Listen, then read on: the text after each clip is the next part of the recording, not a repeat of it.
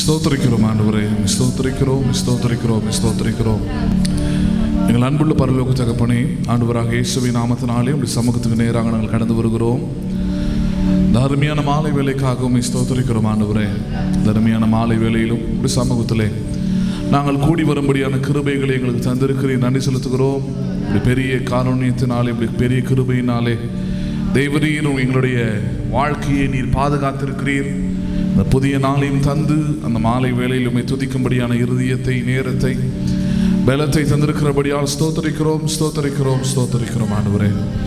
பார்க்கிற கேட்கிற ஒவ்வொரு பிள்ளைகளும் ஆசீர்வதிக்கப்பட்டிருப்பார்களாக. இந்த ஆராதனை தேவரீர் ஒவ்வொருவருக்கும் ஆசீர்வாதமான ஆராதனையாக.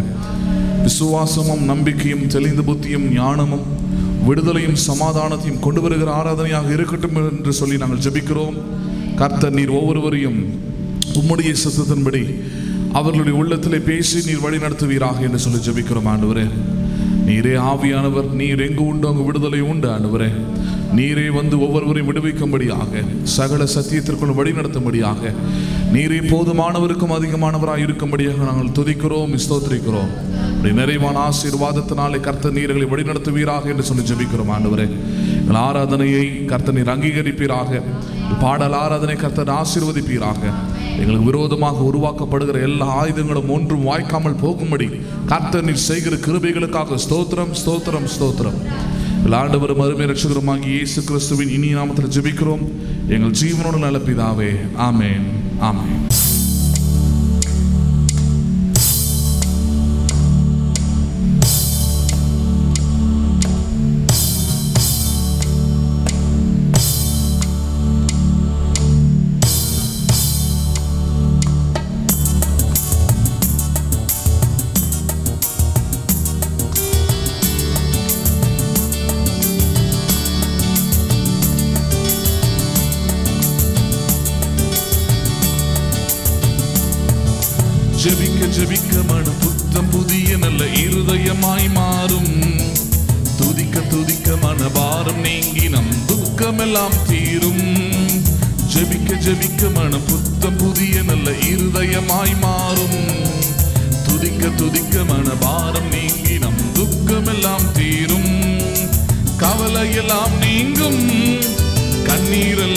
மறையும் கவலையெல்லாம் மறையும் கண்ணீரெல்லாம் தீரும். கழுகு போல புது பெலன் அடைந்து நம்மை வெல்லவானாய் மாற்றும். கழுகு போல புது பெலன் அடைந்து நம்மை வெல்லவானாய் மாற்றும். ஜெபிக்க ஜெபிக்க வன புத்த புதிய நல்ல இருதயமாய் மாறும். துதிக்க துதிக்க மனவாரம் நீங்கி நம் துக்கமெல்லாம் தீரும். ஜெபிக்க ஜெபிக்க மன புத்தம் புதிய நல்ல இருதயமாய் மாறும். துதிக்க துதிக்க மனவாரம் நீங்கினம் துக்கமெல்லாம் தீரும். இடைவிடா ஜெபத்தினால் பெரும் தடைகளை தகர்த்திடலாம். நாம் கருத்துடன் ஜெபிப்பதினால் நம் கண்ணீரை துடைத்திடலாம். இடைவிடா ஜெபத்தினால் பெரும் தடைகளை தகர்த்திடலாம். நாம் கருத்துடன் ஜெபிப்பதினால் கண்ணீரை துடைத்திடலாம். ஊக்கமான ஜபம் ஏக்கங்கள் நீக்கும் வெற்றியை தந்திடும். புது மனிதனாக்கினால் கிருபைகள் தந்து மகிமையில் சேர்த்திடும் ஊக்கமான ஜபம் ஏக்கங்கள் நீக்கி வெற்றியை தந்திடும். புது மனிதனாக்கினால் கிருபைகள் தந்து பலவானாய் மாற்றிடும். சுகமதை தந்திடும். பலமானாய் மாற்றிடும். சுகமதை தந்திடும். ஜெபிக்க ஜெபிக்க மன புத்த புதிய நல்ல இருதயமாய் மாறும். துதிக்க துதிக்க மன வாரம் நீங்கி நம் துக்கமெல்லாம் தீரும். ஜெபிக்க ஜெபிக்க மன புத்த புதிய நல்ல துதிக்க துதிக்க மன வாரம் நீங்கி நம் துக்கமெல்லாம் தீரும். ஜபத்தின் வல்லமையால் நாம் சாத்தானை வென்றிடலாம். துதியின் வல்லமையால் பெரும் சதிகளை முறித்திடலாம். ஜபத்தின் வல்லமையால் நாம் சாத்தானை வென்றிடலாம். துதியின் வல்லமையால் பெரும் சதிகளை முறித்திடலாம். ஜெபிக்கின்ற மனிதன் வெற்றியை பெறுவான் தோல்விக்கு அஞ்சினான். கரடு முரடான வாழ்வை கூட லகுவாய் கடந்திடுவான். ஜெபிக்கின்ற மனிதன் வெற்றியை பெறுவான் தோல்விக்கு அஞ்சினான். கரடு முரடான வாழ்வை கூட லகுவாய் கடந்திடுவான். கலங்கி நின்றினான் நின்றினான் கத்தரை மறந்தினான் மறந்தினான் கலங்கி நின்றினான் கத்தரை மறந்தினான். ஜெபிக்க மனம் புத்தம் புதிய நல்ல இருதயமாய் மாறும். துதிக்க துதிக்க மனவாரம் நீங்கி நம் துக்கமெல்லாம் தீரும். ஜெபிக்க ஜெபிக்க மனம் புத்தம் புதிய நல்ல இருதயமாய் மாறும். துதிக்க துதிக்க மனவாரம் நீங்கி நம் துக்கமெல்லாம் தீரும். வேதம் சத்தியம் நமக்கு விடுதலை நிச்சயம்.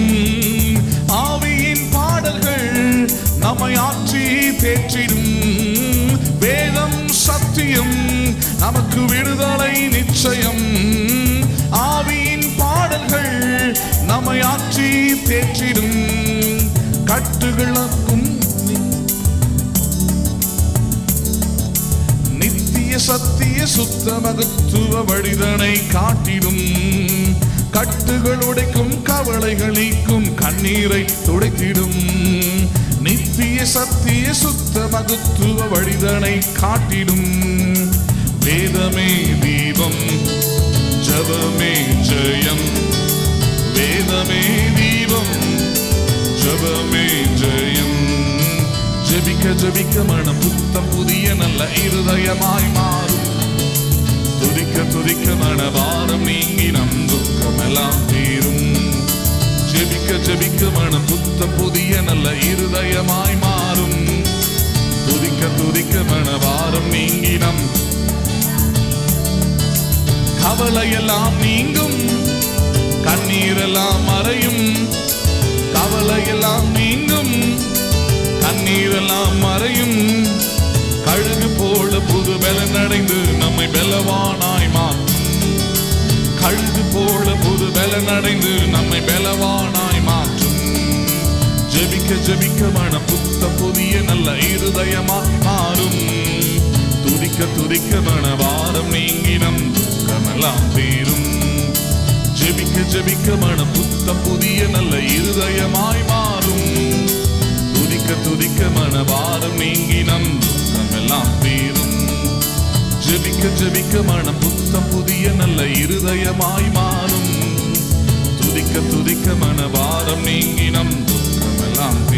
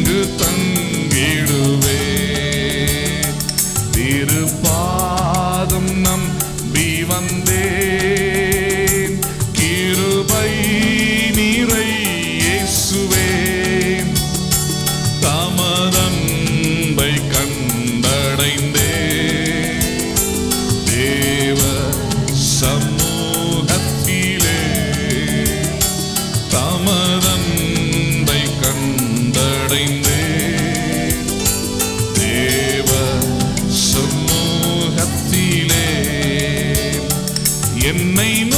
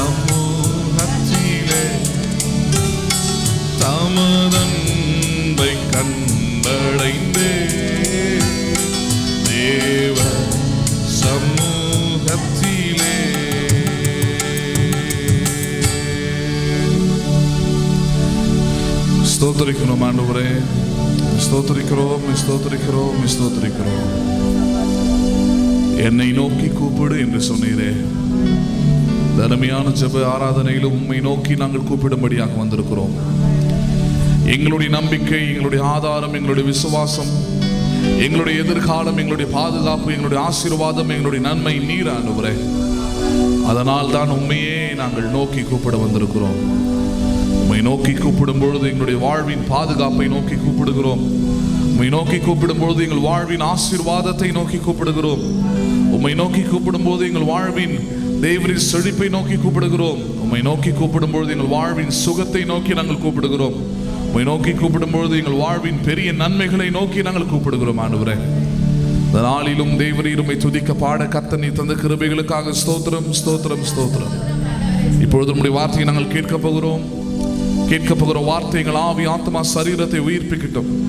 ஜெபத்தை குறித்த அறிவியும் ஞானத்தையும் விசுவாசத்தையும் தெளிந்த புத்தியும் உண்டாக்கட்டும் என்று சொல்லி ஜபிக்கிறோம். பரிசுத்த ஆவியானவர் நீர் ஒவ்வொரு உள்ளங்களிலும் ஒவ்வொரு இருதயங்களிலும் நீர்க்கிரியை செய்வீராக என்று சொல்லி ஜெபிக்கிறோம். எங்கள் ஆண்டவரும் அருமை ரட்சகருமாகிய இயேசு கிறிஸ்துவின் இனிய நாமத்தில் ஜெபிக்கிறோம். எங்கள் ஜீவனுள்ள நல்ல பிதாவே. ஆமே ஆமென். உட்கார்வோம் தேவனுடைய வார்த்தையை நாம் கேட்போம். இந்த மாலை வேளையிலும் ஜெப ஆராதனையாக இருக்கிறது. ஜெப ஆராதனையிலே உங்களோடு கூட ஜெபம் என்றால் என்ன என்கிற தலைப்பின் கீழே தொடர்ச்சியாக பேசிக்கொண்டு வருகிறேன்.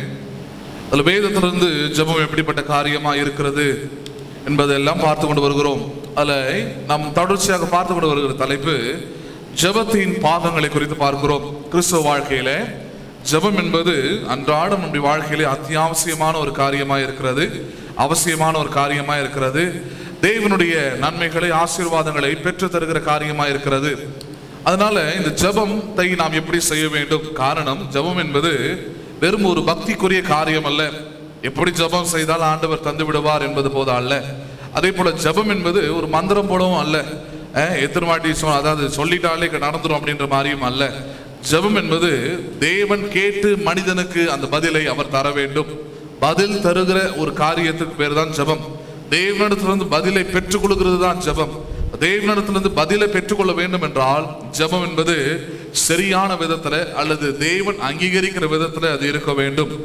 அதனாலதான் ஜெபத்தை குறித்து நாம் பார்த்து கொண்டு வருகிறோம். தற்போது நாம் பார்த்து கொண்டு வருகிற தலைப்பு ஜெபத்தின் பாகங்களை குறித்து பார்க்கிறோம். த பார்ட்ஸ் ஆஃப் பிரேயர் அதுல மொத்தம் ஆறு பாகங்கள் ஜெபத்துல இருக்கிறதாக சொல்லி அதுல மூன்றாவது பாகத்தை தற்பொழுது நாம் பார்த்து கொண்டு வருகிறோம். ஜெபம் என்பது ஒரு தனிப்பட்ட அல்லது ஒரு சிங்கிள் வேர்ட் அல்ல. ஒரு தனியான ஒரு வார்த்தை அல்ல. அது ஆறு பாகங்களை உள்ளடக்கியது ஒரு ஜெபம்.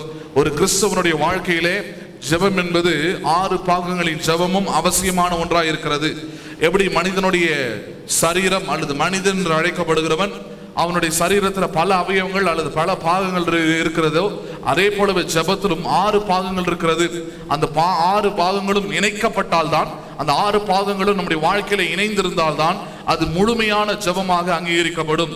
ஒரு பாகம் குறைந்தாலும் எப்படி மனிதனுடைய சரீரத்தில் ஒரு அவயம் குறைந்தாலும் அவனை மாற்றுத்திறனாளி அல்லது ஊனன் என்று சொல்லுகிறோமோ அதே போல ஆவிக்குரிய வாழ்க்கையிலே இந்த ஆறு பாகத்துல ஒரு பாகமான ஜெபம் அல்லது ஒரு பாட்டான ஜெபம் இல்லை என்றாலும் நம்முடைய ஜெபம் ஊனமான ஜெபமாக இருக்கும்.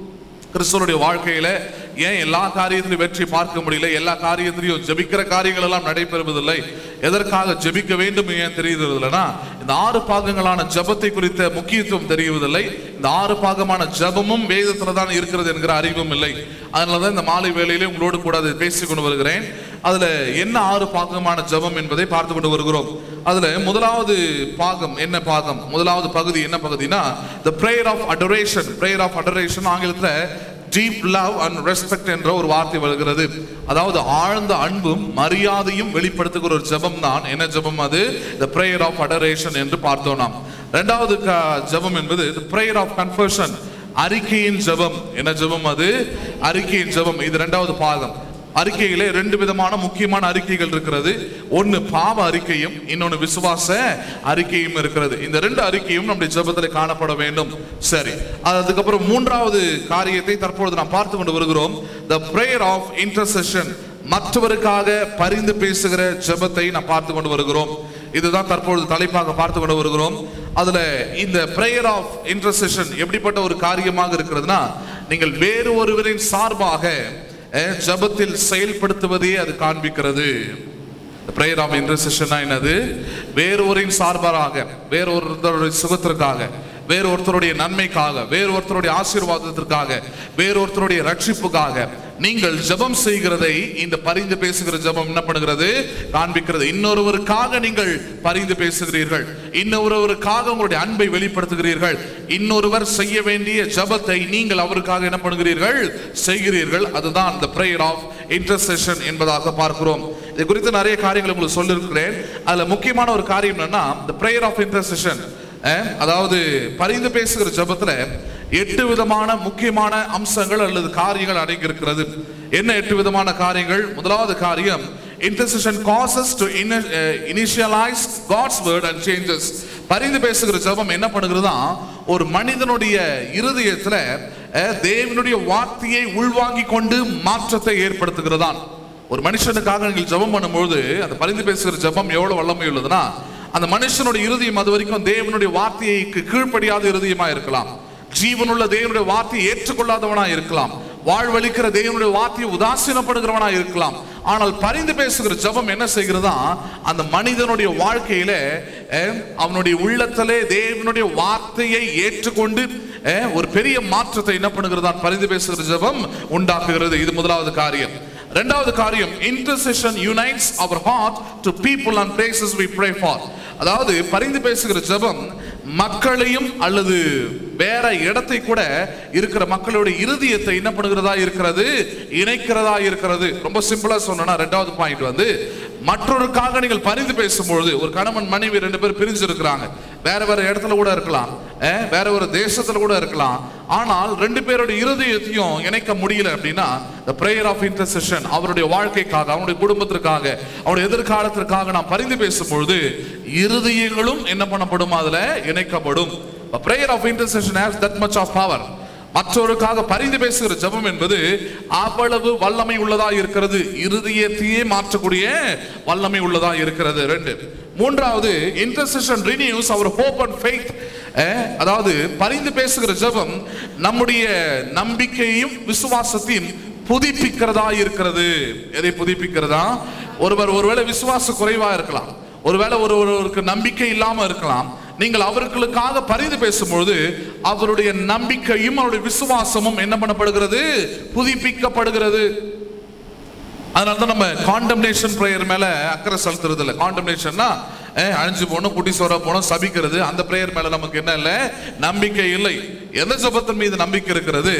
நான் இந்த ஆத்மாவுக்காக இந்த மனுஷனுக்காக ஜெபம் பண்ணும்பொழுது இந்த மனுஷனுக்காக ஜெபம் பண்ணும்போது அவனுடைய நம்பிக்கை அவனுக்குள்ள இருக்கிற விசுவாசம் என்ன பண்ணப்படும் அது? புதுப்பிக்கப்படும். பழைய வாழ்க்கையில் இல்லாத நம்பிக்கை அவனுக்கு வரும். பழைய வாழ்க்கையில் இல்லாத விசுவாசம் அவனுக்குள்ளே வரும் என்கிற அந்த பிரேயர் ஆஃப் இன்டர்செஷன் அப்படிப்பட்ட காரியத்தை என்ன பண்ணுகிறது? செய்கிறது. மூன்றாவது காரியம் அது. நான்காவது காரியம் இன்டர்செஷன் இம்பார்ட்ஸ் லைஃப் அதாவது பரிந்து பேசுகிற ஜெபம் வாழ்வை அளிக்கிறது. எதை அளிக்கிறது? ஆமாம் எவ்வளோ பணத்தை கொடுத்தாலும் வாழ்வை கொடுக்க முடியாது. எவ்வளவு நீங்கள் எவ்வளோ பெரிய சொத்துக்காரங்களாக இருந்தாலும் எவ்வளோ பெரிய படிப்பு இருந்தாலும் எவ்வளோ பெரிய அழகு இருந்தாலும் எவ்வளோ பெரிய திறமை இருந்தாலும் எதை கொடுக்க முடியாது? வாழ்வளிக்க முடியாது. ஆனால் அந்த prayer of intercession will imparts the life அதாவது மற்றவர்களுக்காக பரிந்து பேசுகிற ஜெபம் என்ன பண்ணுகிறதா? வாழ்வழிக்கிறதா இருக்கிறது. ஐந்தாவது காரியம் intercession makes long term impact beyond this age அதாவது பரிந்து பேசுகிற ஜெபம் வெறும் தற்காலத்திற்குரிய ஒரு தாக்கத்தை உண்டாக்காமல் அது யுகங்களை கடந்தும் என்ன பண்ணுகிறதாம்? அது தாக்கத்தை உண்டாக்குகிறதாம். வெறும் நான் பண்ணுகிற இந்த த- இந்த பரிந்து பேசுகிற ஜெபம் இன்னைக்கு மட்டும்தான் ஒர்க் அவுட் ஆகும். நாளைக்கு காலையில் அது கெட்டு போயிடும் இல்லை. நான் ஒரு காரியத்திற்காக இன்றைக்கு நான் ஜெபம் பண்ணலாம். அந்த பரிந்து பேசுகிற ஜெபம் காலத்தை கடந்தும் யுகங்களை கடந்தும் அது என்ன பண்ணுமா? அது தாக்கத்தை உண்டு பண்ணும். ஜபத்தின் வல்லமை செயல்படும் என்று சொல்லப்படுகிறது. ஆறாவது காரியம் இன்டர்செஷன் ஹம்பிள்ஸ் அஸ் அதாவது பரிந்து பேசுகிற ஜபம் மனுஷனுக்கு வராத ஒரு நல்ல தன்மையை வரவேற்கும். அது என்னது தாழ்மை. என்ன பண்ணுமா அது? மற்றவர்களுக்காக பரிந்து பேசுகிற ஜபம் இருந்தால் உங்களுக்கு எது உண்டாகுமா? தானாகவே தாழ்மை வந்துரும்ன்றார். உண்மையான தாழ்மை. தெய்வன் எதிர்பார்க்கிற தாழ்மை வந்துடும் பொய்யான தாழ்மை எல்லாம் போயிடும். தெய்வன் எதிர்பார்க்கிற உண்மையான தாழ்மை வந்துடும் சரி. ஏழாவது காரியம் intercession change the spirit spiritual atmosphere of cities and nations அதாவது பரிந்து பேசுகிற ஜெபம் நாடுகளையும் நகரங்களையும் ஆவிக்குரிய சூழ்நிலையை மாற்றமைக்குகிறது. ஏழாவது காரியம் ரொம்ப முக்கியமான காரியம். பரிந்து பேசுகிற ஜெபம் வெறும் ஒரு தெருவுக்குள்ள அல்லது ஒரு நாட்டுக்குள்ள மன்னிக்கு ஒரு தேசத்துக்குள்ள மாற்றம் அது ஒரு மாற்றத்தை உண்டாக்குவதல்ல. அது தேசங்களையும் நாடுகளையும் நகரங்களுடைய ஆவிக்குரிய நிலைமையை என்ன பண்ணிவிடுகிறது? மாற்றிவிடுகிறது. மாற்றி விடுகிறது சோதங்குமார மாதிரி பட்டணமா இருக்கலாம் ஜெபிக்க ஜெபிக்க ஜெபிக்க. அது பரிசுத்தமான பட்டணமாக அது மாறும். எருசலேமாய் மாறும் அது. சியோனாய் மாறும் அது.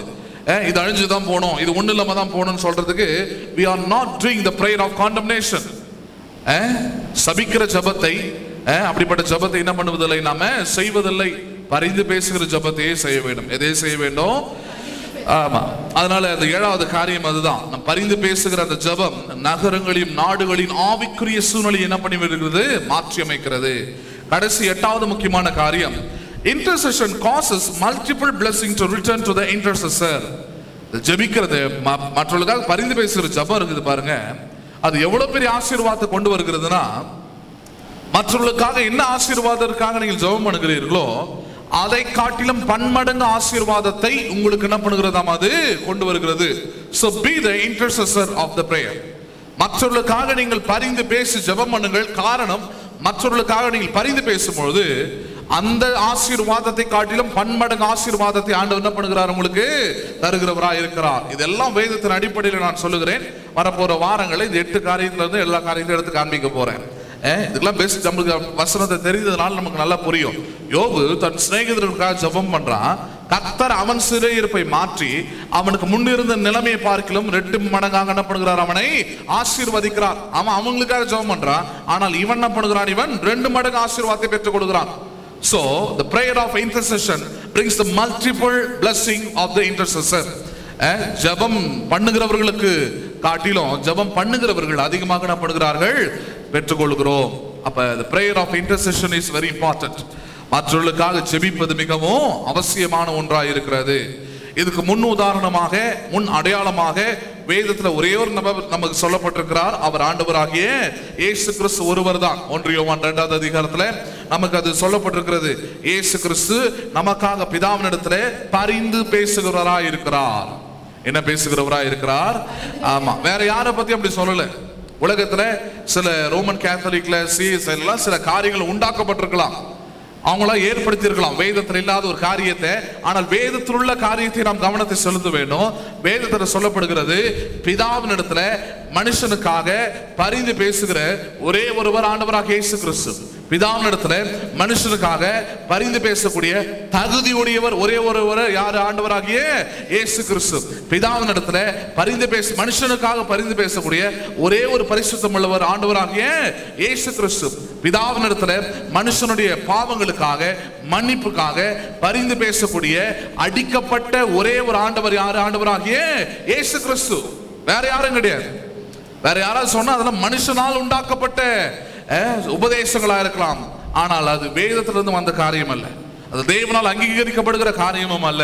இன்றைக்கும் நாம் பாவம் செய்யும் பொழுது இன்னைக்கும் நம்முடைய வாழ்க்கையில நாம் தவறாகும் பொழுது நமக்காக பிதாவின் இடத்துல பரிந்து பேசக்கூடிய ஒரே ஒருவர் யார்? ஆண்டவராகிய இயேசு கிறிஸ்து ஒருவரே. வேற யாரும் இல்லை. புரியுதுங்களா உங்களுக்கு? சரி. சில காரியங்களை நான் பார்க்க போகிறோம். பிரேயர் ஆஃப் இன்டர்செஷன் ஜபத்து அதாவது பரிந்து பேசுகிற ஜெபத்துல அடுத்த காரியத்தை வேதத்துல இருந்து நாம் புரிந்து கொள்ள போகிறோம். இந்த பரிந்து பேசுகிற ஜபம் எப்படி சாத்தியமாகிறது? பண்ண முடியுமா இந்த உலகத்துலனா ரொம்ப ஒரு லைன் மேன் எக்ஸ்பிளனேஷனாக கொடுக்கணும்னா சாதாரணமான மனிதர் கொடுக்க வேண்டிய விளக்கத்தை கொடுக்கணும்னா நிச்சயமாக முடியாது. ஏன்னா உலகம் எப்படிப்பட்ட உலகமாக இருக்குதுன்னா மற்றவர்கள் நல்லா இருக்கக்கூடாது. எப்படி இருக்கக்கூடாது? நான் நல்லா இருக்கிறேன் நல்லா இல்லை. ரெண்டாவது ஆனால் மற்றவங்க எப்படி இருக்கக்கூடாது? நல்லா இருக்கக்கூடாது. உலகம்னு சொல்லும்போது எல்லாமே சேர்ந்து தான் நிறைய சபையில் ஊழியக்காரர்கள் விசுவாசிகள் உலக மக்கள் எல்லாருக்குள்ள அந்த குணம் இருக்குது. மற்ற குணம் பண்ணக்கூடாது? நல்லா இருக்கக்கூடாது. என் ஊழியக்கார் நல்லா இருக்கக்கூடாது. என் விசுவாசி நல்லா இருக்கக்கூடாது. அது சொல்லலைனாலும் அவங்களுடைய கிரியைகளிலே அதெல்லாம் பண்ண முடியும்? நம்மளால பார்க்க முடியும். அது- அதெல்லாம் நான் எக்ஸ்பிளைன் பண்ணி சொல்ல வேண்டியதில்லை. உலக மக்களுக்குள்ளேயே அதை பார்க்க முடியும். நம்ம ஒரு காரியத்தை செய்கிறோம் அது எப்படி செய்கிறோன்றது முக்கியம் இல்லை. ஆனால் செய்யும் பொழுது பாருங்கள் ஒரு வீடை கட்டுறோம் ஒரு வண்டியை வாங்குகிறோம் ஒரு காரை வாங்குறோம் ஏதோ ஒன்று பண்ணுறோம் தானாகவே அவளுக்குள்ள என்ன வந்துடுது பொறாமை வந்துடுது எரிச்சல் வந்துடுது ஏன்னா அவங்களுக்குள்ள அடிப்படையாக இருக்கிற சுவாபம் என்னன்னா நல்லா இருக்கக்கூடாது. என்ன பண்ணக்கூடாது? ஆமாம் ஆனால் பிரச்சனை என்ன? மற்றவங்களுக்கு நீங்கள் எதை அளக்குறீங்களோ அதுதான் உங்களுக்கும் என்ன பண்ணப்படும்? அளக்கப்படும். உலகத்தில் ரெண்டு விதமாக தீமைகள் நடக்கும். ஒன்று பிசாசுனால ஏற்படுகிற தீமைகள். யாரால் ஏற்படுகிற தீமைகள்? வசனம் அதை துன்மார்க்குன்னு மன்னிக்கும் நீதிமானுக்கு வருகிற துன்பங்கள்னு சொல்றது அது. நீதிமானுக்கு வருகிற சோதனைகள். அது பிசாசினால் உண்டாக்கப்படுகிறது. இன்னொரு துன்பம் இருக்குது. அது என்னது? நான் விதைச்சி நான் அறுக்கிறது அதை. நீங்க போட்டு நீங்களே என்ன பண்றது அதை? அறுக்கிறது. ரெண்டு விதத்திலையும் துன்பத்தை அறுத்து கொள்கிறோம். ஆனா ரெண்டு விதத்துல பார்க்கும்போது இந்த முதல் விதம் இருக்குது பாருங்க. நீதிமானா இருந்து உத்தமனா இருந்து தேவனுக்கு பிரியமானவர்களை நடந்து விசுவாசிகளா இருந்து செயல்படும் பொழுது அப்படி வர துன்பங்களிலிருந்து கர்த்தர் எல்லாவற்றிலிருந்து நம்ம என்ன பண்ணுவார்? விடுவிப்பார் என்று வசனம் சொல்லுது. ஆனா தீமையை செய்து அக்கிரமத்தை செஞ்சு மற்றவங்க நல்லா இருக்க கூடாதுன்னு நினைச்சு அதுக்காக என்னென்ன வழிகள்லாம் இருக்குதோ அது எல்லாத்தையும் பண்ணுவான். போய் கொலை சொல்றது கோல் மூடுறது இந்த மனுஷனோட இமேஜை டேமேஜ் பண்றது எல்லா வேலையும் பண்ணுவாங்க பாருங்க.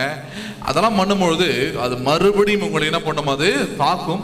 அது ஒருவேளை உணர்வடைந்து மன்னிப்பு கேட்டு வசனமே சில இடத்துல சொல்லுது ஒரு ஒருவேளை மன்னித்தாலும் மன்னிப்பார்ன்றது வசம். கண்டிப்பா மன்னிப்பார்னு சொல்லு. எப்படி சொல்லுது அதை? ஒரு ஒருவேளை மன்னிப்பா மன்னித்தாலும் மன்னிப்பார்ன்றது.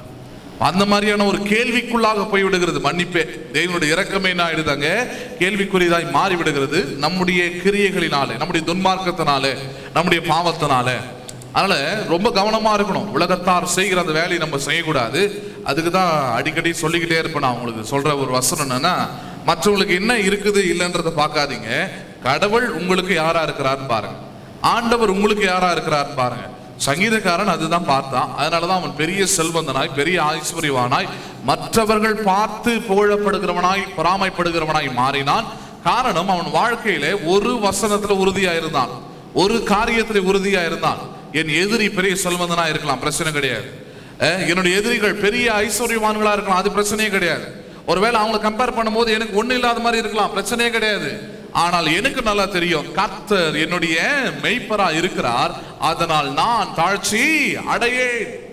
அவர் என்னுடைய மெய்ப்பரா இருக்கிற வரைக்கும் எனக்கு குறைவென்பதே இல்லை என்பதில் சங்கீதக்காரன் மிகவும் உறுதியாக இருந்தார் அந்த உறுதி விசுவாசிகளாகிய நமக்கு முதலாவது இருக்க வேண்டும். ஒன்று. இரண்டாவது காரியம் கிறிஸ்தவர்களுடைய அடையாளம் என்று ஒன்று இருக்கிறது. ரட்சிக்கப்பட்ட மக்களுடைய அடையாளம் என்று ஒன்று இருக்கிறது. அதுல முக்கியமான பிரதானமான அடையாளம் என்ன? இயேசு கிறிஸ்துவுக்கு கொடுக்கப்பட்ட அதே அடையாளம் நமக்கு இருக்கிறது. ஏனென்றால் ஆவியானவரை குறித்து உங்களுக்கு சண்டே ஈவினிங்ல போதிக்கும் போது சொன்னேன். ஆவியானவருடைய மு- பிரதானமான ஒரு வேலையில் என்ன வேலை? கிறிஸ்துவின் சாயலை நமக்கு தரிப்பிப்பது. விசுவாசிகளுக்கு எதை தரிப்பிப்பது? இயேசு கிறிஸ்துவை போலவே நம்முடைய இருதயங்களை மாற்றுவது. இயேசு கிறிஸ்துவை போலவே நம்முடைய சிந்தைகளை மாற்றுவது. இயேசு கிறிஸ்துவை போலவே நம்முடைய அவயவங்களை மாற்றுவது. அதுதான் ஆவியானவருடைய வேலை நமக்குள்ள இருந்து வேற எந்த வேலையும் கிடையாது அவருக்கு. முதல்ல அந்த வேலையை தான் செய்கிறார் அதனால தேவனை ஏற்றுக்கொண்ட பிறகு ரட்சிக்கப்பட்ட பிறகு முதலாவது சுவாபங்கள் மாற்றப்படுகிறது. இறுதியில் மாற்றப்படுகிறது எண்ணங்கள் மாற்றப்படுகிறது கண்ணோட்டங்கள் மாற்றப்படுகிறது நம்பிக்கைகள் மாறுகிறது விசுவாசங்கள் மாறுகிறது. காரணம் என்ன? அவனுக்குள்ளே இருக்கிற ஆவியானவர் ரட்சிக்கப்படுகிற மக்களுக்குள்ள இருக்கிற ஆவியானவர் அப்படிப்பட்ட மாற்றத்தை என்ன பண்ணுகிறார்? உண்டு பண்ணுகிறார். அப்ப இயேசு கிறிஸ்துவுக்கு இருந்த அடையாளங்களிலே பிரதானமான அடையாளம் என்ன அடையாளம் தெரியுமா? அவர் அன்பாகவே இருக்கிறார். யாராகவே இருக்கிறார் அவர்? ஆமா. இது கிறிஸ்தவர்கள் மாற்றமல்ல மற்றவர்களும் அதை எடுத்துக்கொள்கிறார்கள் அதனால மற்றவங்க போற பைக்ல கார்ல வீட்டில் கூட பார்க்கலாம். காட் இஸ் லவ்னு போட்டிருப்பாங்க. யார் லவ்னு போட்டிருப்பாங்க? ஆமா. அது வசனம் அது. ஒன்று நான்காவது அதிகாரத்தை இருக்குது. அதை தான் அவன் வசனத்தை எடுத்து அவங்க போட்டிருக்கிறாங்க. ஏன்னா அது ரொம்ப பிடிச்சிருக்குது அவங்க. ஏன்னா அன்பு கடவுள் அல்ல. அன்பு என்பது ஒரு சுவாபம் உலகத்தான் சில புரியாதவர்கள் அப்படி சொல்லிட்டாங்க. புரிய வைக்கணுன்றதுக்காக அன்பு தான் பிரதானம் சொல்ல வர்றதுக்காக அன்பே கடவுள் சொல்லிட்டாங்க. அன்பே கடவுள் கிடையாது. கடவுள் இருந்தால் அவர் எப்படி இருக்கிறார் அவர்? அன்பாகவே இருக்கிறார். கடவுள் ஒருத்தர் இருந்தார் எப்படி இருப்பார் அவர்? அன்பாகவே இருக்கிறார். Is love God is love சரி. அப்ப இந்த அன்பா இருக்கிற கடவுள் அவர் எப்படிப்பட்ட அன்பா இருக்கிறார்? அவருடைய அன்பு எப்படிப்பட்டது? இன்றைக்கு ரட்சிக்கப்பட்டு தேவனுடைய பிள்ளைகளாக இருக்கிற நாம் நம்முடைய ஆண்டவருடைய அன்பு எப்படிப்பட்டது? அவர் என்ன பண்ணுகிறார்? இது எல்லாவற்றையும் நாம் கவனிப்பது அவசியமா இருக்கிறது. ஏனென்றால் அன்பு இல்லை என்றால் அதுவும் முக்கியமாக தெய்வீக அன்பு இல்லை என்றால் மற்றவர்களுக்காக ஜெபம் பண்ணுவதோ மற்றவர்களுக்காக சிந்திப்பதோ அந்த இறுதியுமே நமக்கு வராது. புரியுதுங்களா? இந்த prayer ஆஃப் இன்டர்செஷன்ல மற்றவர்களுக்காக பரிந்து பேசுகிற ஜபத்துல அடிப்படை காரியமே அதான். ஃபண்டமெண்டலே என்னன்னா you need the God's love யாருடைய அன்பு உங்களுக்கு வேண்டும்? தேவனுடைய அன்பு வேண்டும். தெய்வீக அன்பு இல்லை என்றால் நீங்கள் மற்றவர்களை குறித்து யோசிக்க மாட்டீங்க சிந்திக்க மாட்டீங்க செயல்பட மாட்டீங்க ஜெபிக்கவும் மாட்டீங்க. புரியுதுங்களா? பேசுறது உங்களுக்கு? தெய்வீக அன்பு மிகவும் மிகவும் முக்கியமானது. வேத வசனம் அதை அகாப்பே அன்பு என்று சொல்லுகிறது. என்ன அன்பு அது? ஏன்னா உலகத்துல பலவிதமான அன்புகள் உண்டு. அதுல ரொம்ப பிரதானமாக பிரிக்கப்படுகிற ரெண்டு அன்பு ஒன்று அகாப்பே அன்பு இன்னொன்று ஈராஸ் அன்பு. அகாப்பே என்பது தேவனுடைய அன்பு. ஈராஸ் என்பது உலக பிரகானமான ஒரு அன்பு. உலக பிரகாரமான அன்பு எப்படிப்பட்டது அது? அப்படின்னா எதிர்பார்ப்புகள் நிறைந்தது. அதே போல நீ செய்தால் நான் உனக்கு அன்பு கொடுப்பேன். நீ எனக்கு அன்பு கொடுத்தா நான் என்ன பண்ணுவேன் உனக்கு? அன்பு கொடுப்பேன் இல்ல நீ ஒரு நல்லவனா இருந்தா உனக்கு அன்பு கொடுப்பேன். இல்ல நீ என்ன போல இருந்தா உனக்கு என்ன பண்ணுவேன் நான்? அன்பு கொடுப்பேன். இப்படிதான். ஏதோ ஒரு எதிர்பார்ப்போடு ஏதோ ஒரு ஆதாரத்தோடு தான் அன்பு காண்பித்து கொண்டிருக்கிறது. அது ஈராஸ் அன்பு. அகாப்பி அன்பு எப்படிப்படுது தெய்வீக அன்பு எப்படிப்படுதுன்னா தனக்கு சுத்தமா சம்பந்தம் இல்லாத ஒரு மனுஷன். தனக்கு சுத்தமா சம்பந்தம் இல்லாத ஒரு காரியம். ஒருவேளை தனக்கு எதிரான ஒரு காரியமாக இருந்தாலும் சரி அதை நேசித்து அதற்காக தன்னுடைய உச்சகட்டமான உயிரை கொடுப்பதுதான் என்ன அன்பது? தெய்வீக அன்பு. ஹலோ புரியுதுங்களா உங்களுக்கு?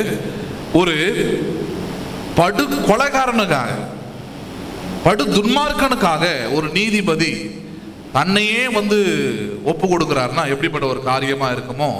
அந்த அன்புக்கு பேர் தான் என்ன அன்பு அது? தெய்வீக அன்பு. எல்லாரும் கேட்கலாம் என்னங்க ஒரு நீதிபதி நீங்க?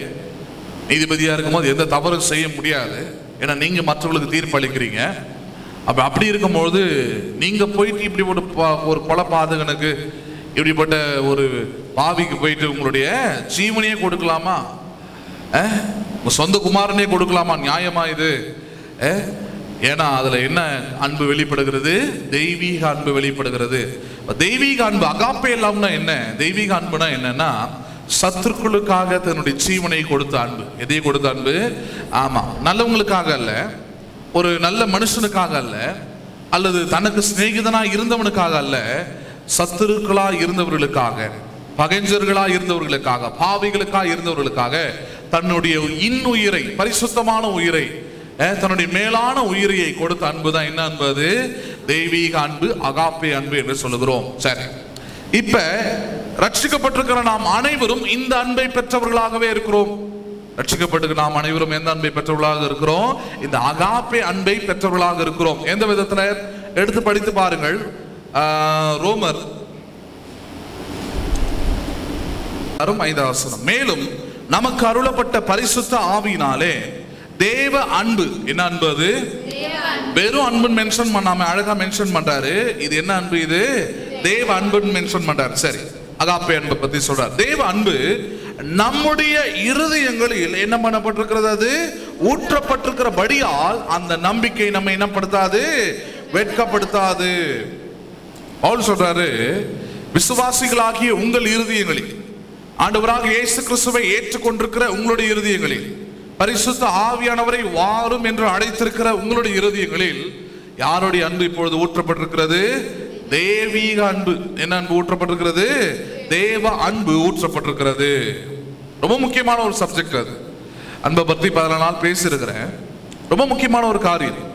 கிறிஸ்தவர்கள் இந்த முக்கியமான பாயிண்ட் எல்லாம் விட்டுட்டு எதையோ நோக்கி போயிட்டாங்க. அடிப்படை பேஸ்மெண்ட்டே இல்லாமல் பில்டிங்கை கட்ட ஆரம்பிச்சிட்டாங்க. அதனால தான் நிற்க முடியல. அதனால தான் வளர முடியல. அதனால தான் மேலே மேலே போக முடியல. பயமோ அவிசுவாசமோ சில சபைகளெல்லாம் இப்படிப்பட்ட உபதேசத்தை போதிக்காம அலறாங்க பாஸ்டர்ஸ்லாம் ஐயோ திருப்பி அஞ்சு வருஷம் வந்துட்டாங்க. இப்போ நீங்கள் போயிடாதீங்க மறுதளிச்சிடாதீங்க ஆண்டவர். நரகத்துக்கு போயிடுவீங்க. ஆ ஊன்னு கத்திட்டு உட்காந்துருக்குறாங்க அப்படிலாம் பயமுறுத்துறதுனால ஒன்றும் நடக்காது. சொல்றதுனால ஒன்றும் மாறிடாது.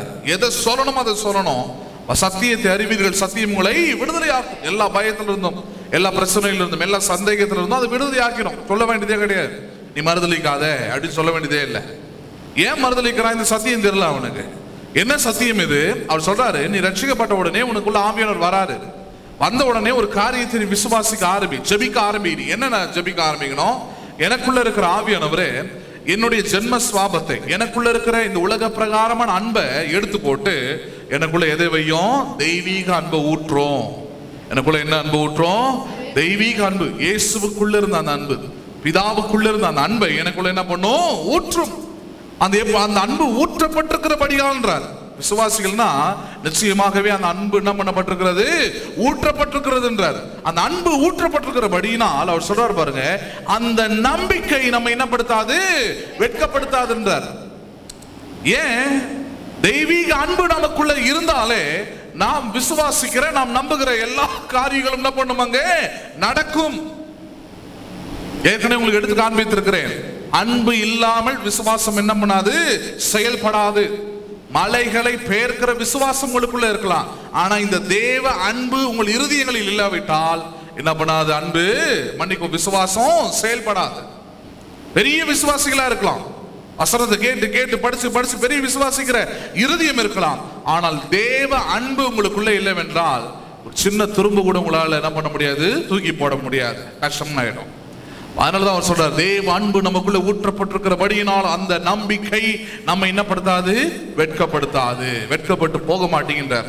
ஏன்னா அன்புல அவ்வளோ காரியங்கள் அடங்கி இருக்கிறது அந்த தெய்வ தேவ அன்புல அவ்வளோ காரியம் தேவ அன்பு ஒரு மனுஷனுக்குள்ள இருக்குதுன்னா அந்த மனுஷன் வெட்கப்பட்டு போவதில்லை. எந்த சூழ்நிலையிலும் எந்த காரியத்திலும் தெய்வ அன்பு எல்லா கட்டத்திலும் எல்லா வாழ்க்கையின் எல்லா பகுதிகளிலும் நமக்கு தேவையான ஒன்றாக இருக்கிறது. எது தெய்வ அன்பு? அடுத்த வருஷத்துல சொல்றார் தெய்வ அன்பு எப்படிப்படுது அன்றியும் நாம் பலவீனற்றவர்களா இருக்கும்போதே குறித்த காலத்தில் கிறிஸ்து அக்கிரமக்காரருக்காக என்ன பண்ணினார் அவர்? மறித்தார் நீதிமானுக்காக ஒருவன் மறிக்கிறது அறிது நல்லவனுக்காக ஒருவேளை ஒருவன் என்ன பண்ணலாம்? மறிக்க துணிவான். நாம் பாவிகளா இருக்கையில் கிறிஸ்து நமக்காக மறித்ததுனாலே தேவன் நம்மேல் வைத்த தமது அன்பை என்ன பண்ணுகிறார் அவர்? விளங்க பண்ணுகிறார். சொல்றாரு குறித்த காலத்தில் கிறிஸ்து நல்லவர்களுக்காக மறிக்கவில்லை யாருக்காக மறித்தார் அவர்? அக்கிரமக்காரருக்காக மறித்தார் யாருக்காக மறித்தார் அவர்? அக்கிரமக்காரருக்காக மறித்தார் ஒண்ணு. ரெண்டாவது சொல்றாரு நாம் பாவிகளா இருக்கையில் கிறிஸ்து நமக்காக மறித்ததுனாலே நம்ம யாரா இருக்கையில் மறித்தாரா பாவிகளா இருக்கும்பொழுது மறித்தாராம் யாரா இருக்கும்போது மறித்தாரா நல்லவர்களா இருக்கும்போது இல்ல இல்ல நல்லவங்களா மாறிடுவோம். நீதிமான் ஆயிடுவோம் மறிக்கல.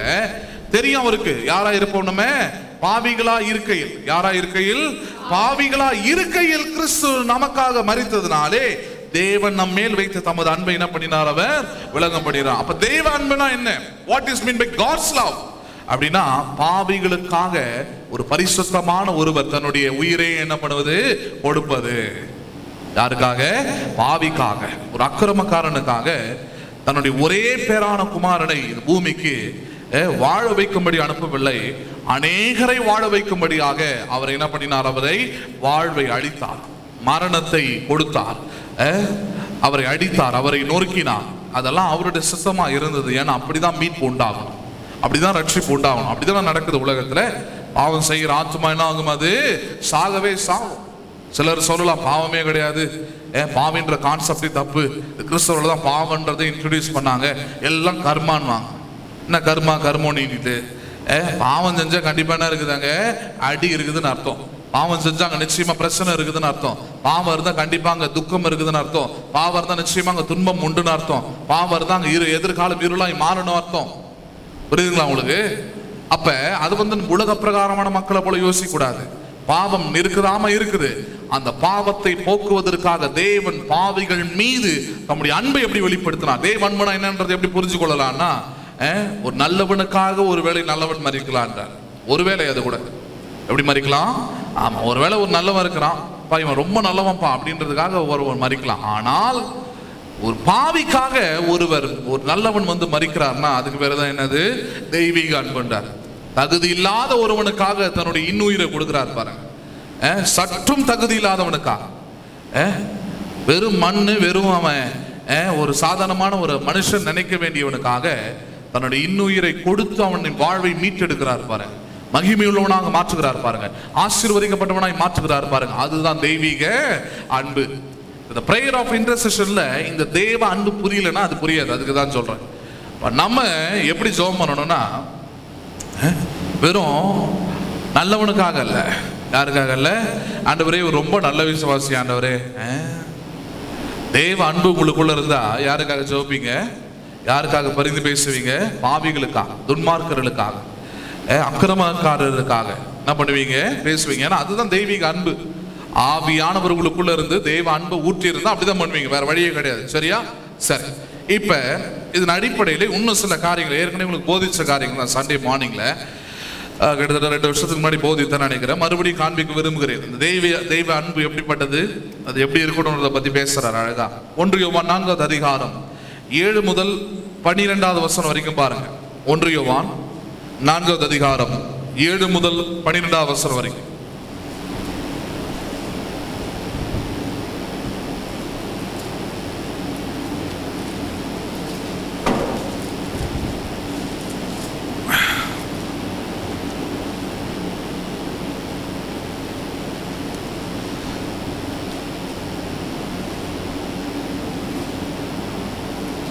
எடுத்துட்டீங்களா ஒன்று யோவான் நான்காவது அதிகாரம் ஏழு முதல் பன்னிரெண்டு வசனம் வரைக்கும் பார்க்க போகிறோம் இந்த பரிந்து பேசுகிற ஜபத்தில் தெய்வ அன்பு எவ்வளவு முக்கியமானதா இருக்கிறது என்பதை நாம் பார்க்க போகிறோம். முதல்ல தெய்வ அன்பு எப்படிப்பட்டதுன்னு பார்த்தோம். தெய்வ அன்பு எவ்வளவு முக்கியமா இருக்கிறத பார்க்கிறோம். ஒன்று யோவான் நான்கு ஏழு முதல் பன்னிரெண்டு வசனங்களை பாருங்கள். பிரியமானவர்களே ஒருவரில் ஒருவர் எப்படி இருக்க கடவோம் நல்லா சொல்றாங்க. எப்படி இருக்க கடவோம் வெறுப்பாய் இருக்க வேண்டாம் கசப்பாய் இருக்க வேண்டாம் எதிரிகளா இருக்க வேண்டாம். ஒருவரில் ஒருவர் எப்படி இருக்க நீங்க முதல்ல? முதல்ல யாருக்கு எழுதுறாருன்னா சபைக்கு தான் எழுதுறாரு. யாருக்கு எழுதுறாரு இதை? சபைக்குள்ள தான் நிறைய வேற்றுமையை பார்க்க முடியும். சபைக்குள்ள தான் நிறைய பிரிவினையை பார்க்க முடியும். சபையில எல்லாம் சரியாயிடுச்சுன்னா வெளியே எல்லாம் சரியாயிடும். ஏன்னா மனுஷனுடைய வாழ்க்கையை மாற்றுகிற இடம் எது? சபை ஒன்று மாத்திரம்தான். பெரிய யூனிவர்சிட்டியில் போய் படிக்கலாம்.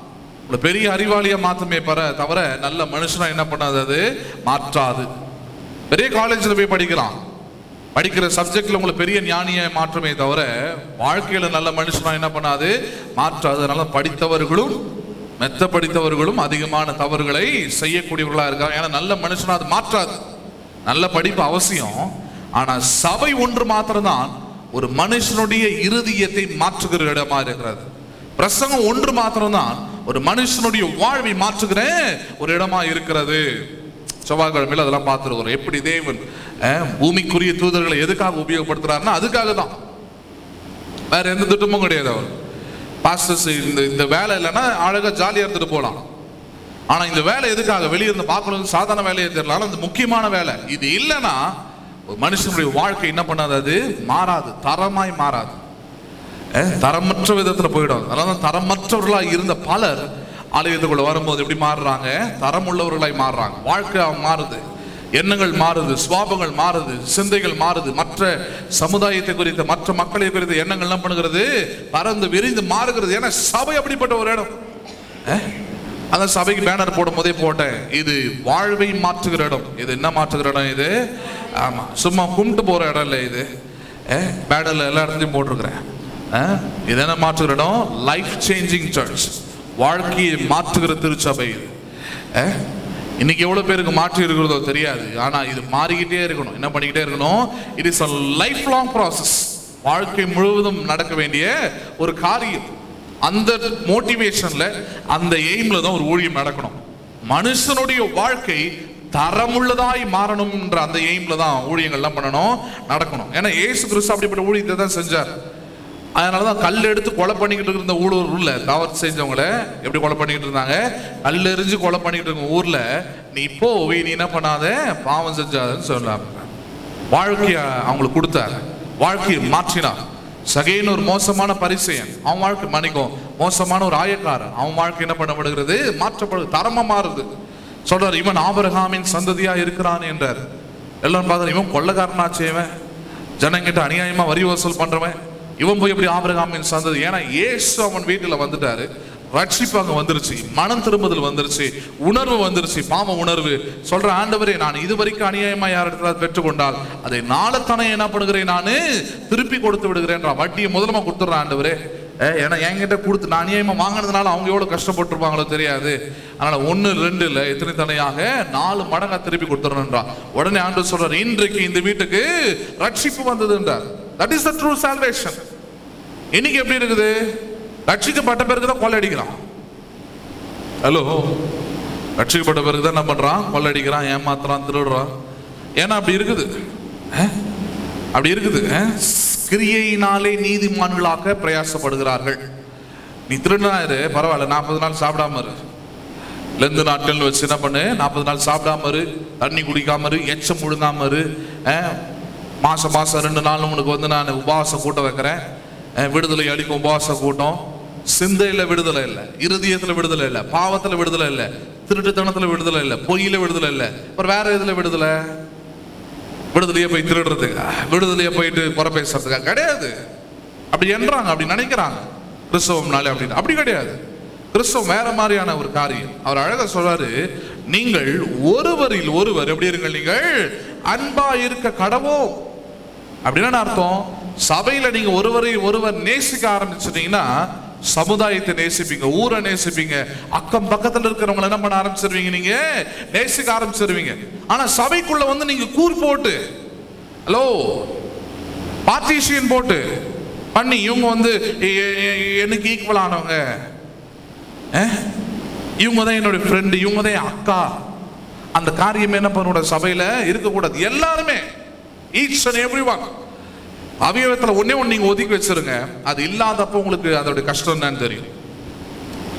சரீரத்தின் அவயவத்தில் ஒன்னே ஒன்று இல்லைன்னா சபை என்பது தேவனுடைய சரீரத்தின் அவயவங்கள் நீங்களும் நானும்.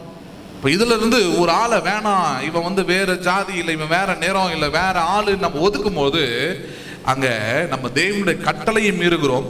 ஆவியானவரை நம்ம மறுதளிக்கிறோம் தெய்வீக அன்பு நமக்குள்ள இல்லைன்றத வெளிப்படுத்துறோம். வேற ஒன்றும் கிடையாது. அதனால தான் அவர் சொல்றாரு நீங்கள் ஒருவர் இது ஒருவர். எப்படி இருக்க கடவும் அன்பா இருக்க. First our life should start from church அன்பின் வாழ்க்கைங்கிறது ஆரம்பிக்கப்படணும் அது? நம்முடைய சபையில். அதனால தான் சபை என்பது குடும்பம். சபை என்பது எப்படிப்பட்ட காரியம் அது? ஒருவன் குடும்பத்தை நேசிக்கிறவனாக இருந்தால் அவன் ஒருவேளை பெரிய கலெக்டராக இருக்கலாம் பெரிய சிஎம்மாக இருக்கலாம் பிஎம்மாக இருக்கலாம் தன் நாட்டை தன் மக்களை என்ன பண்ணுவான் அவன்? நேசிப்பான். தன் குடும்பத்தை நேசியாதவன். நிச்சயமாய் மற்றவர்கள் யாரையும் என்ன பண்ண மாட்டான் நேசிக்க மாட்டான். குடும்பம் அதனால தான் ரொம்ப முக்கியம். ஹலோ பேசுறது புரியுதா உங்களுக்கு? நமக்கு ஒரு குடும்பம்னு ஒன்று இருந்ததுன்னா நமக்கு எல்லா காரியமும் நமக்கு தெரியும் உலகத்தில். எவ்வளோ கஷ்டம் எவ்வளோ க- பாடுகள்னு.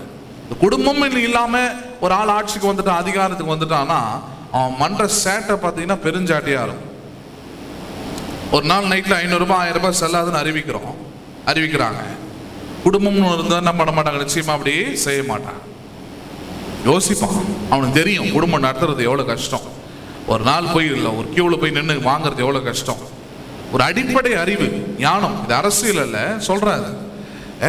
இப்போ நிறைய நேரத்தில் என்ன ஆயிடுது இது குடும்பம்ன்ற அந்த காரியத்தின் மேல தான் பிசாசு ஃபோக்கஸாக இருக்கிறான். சபை மேலே தான் ஃபோக்கஸாக இருக்கிறான். ஏன்னா இதுக்குள்ள பிரிவினை உண்டாக்கிட்டா இதுக்குள்ள ஜாதி மொழி இனம்ன்றத பிரிவினை உண்டாக்கிட்டா ஈஸியாக என்ன பண்ணிடலாம்? எல்லாத்தையும் பிரிச்சிடலாம். சமுதாயத்தை ஒன்றும் இல்லாம பண்ணிடலாம். பூமிக்கே வெளிச்சமாக இருக்க வேண்டிய உங்களை ஃபியூஸ் போன பல்ப் ஆக்கிடலாம். பல்ப் இருக்கும். ஆனால் என்ன பல்ப் அது? ஃபியூஸ் போன பல்ப் நீங்கள் நிறைய கிறிஸ்தவர்கள் இருக்கிறாங்க. ஃபியூஸ் போயிடுச்சு அப்படின்னா அன்பு இல்லை. என்ன அன்பு இல்லை? தெய்வீக அன்பு இல்லை.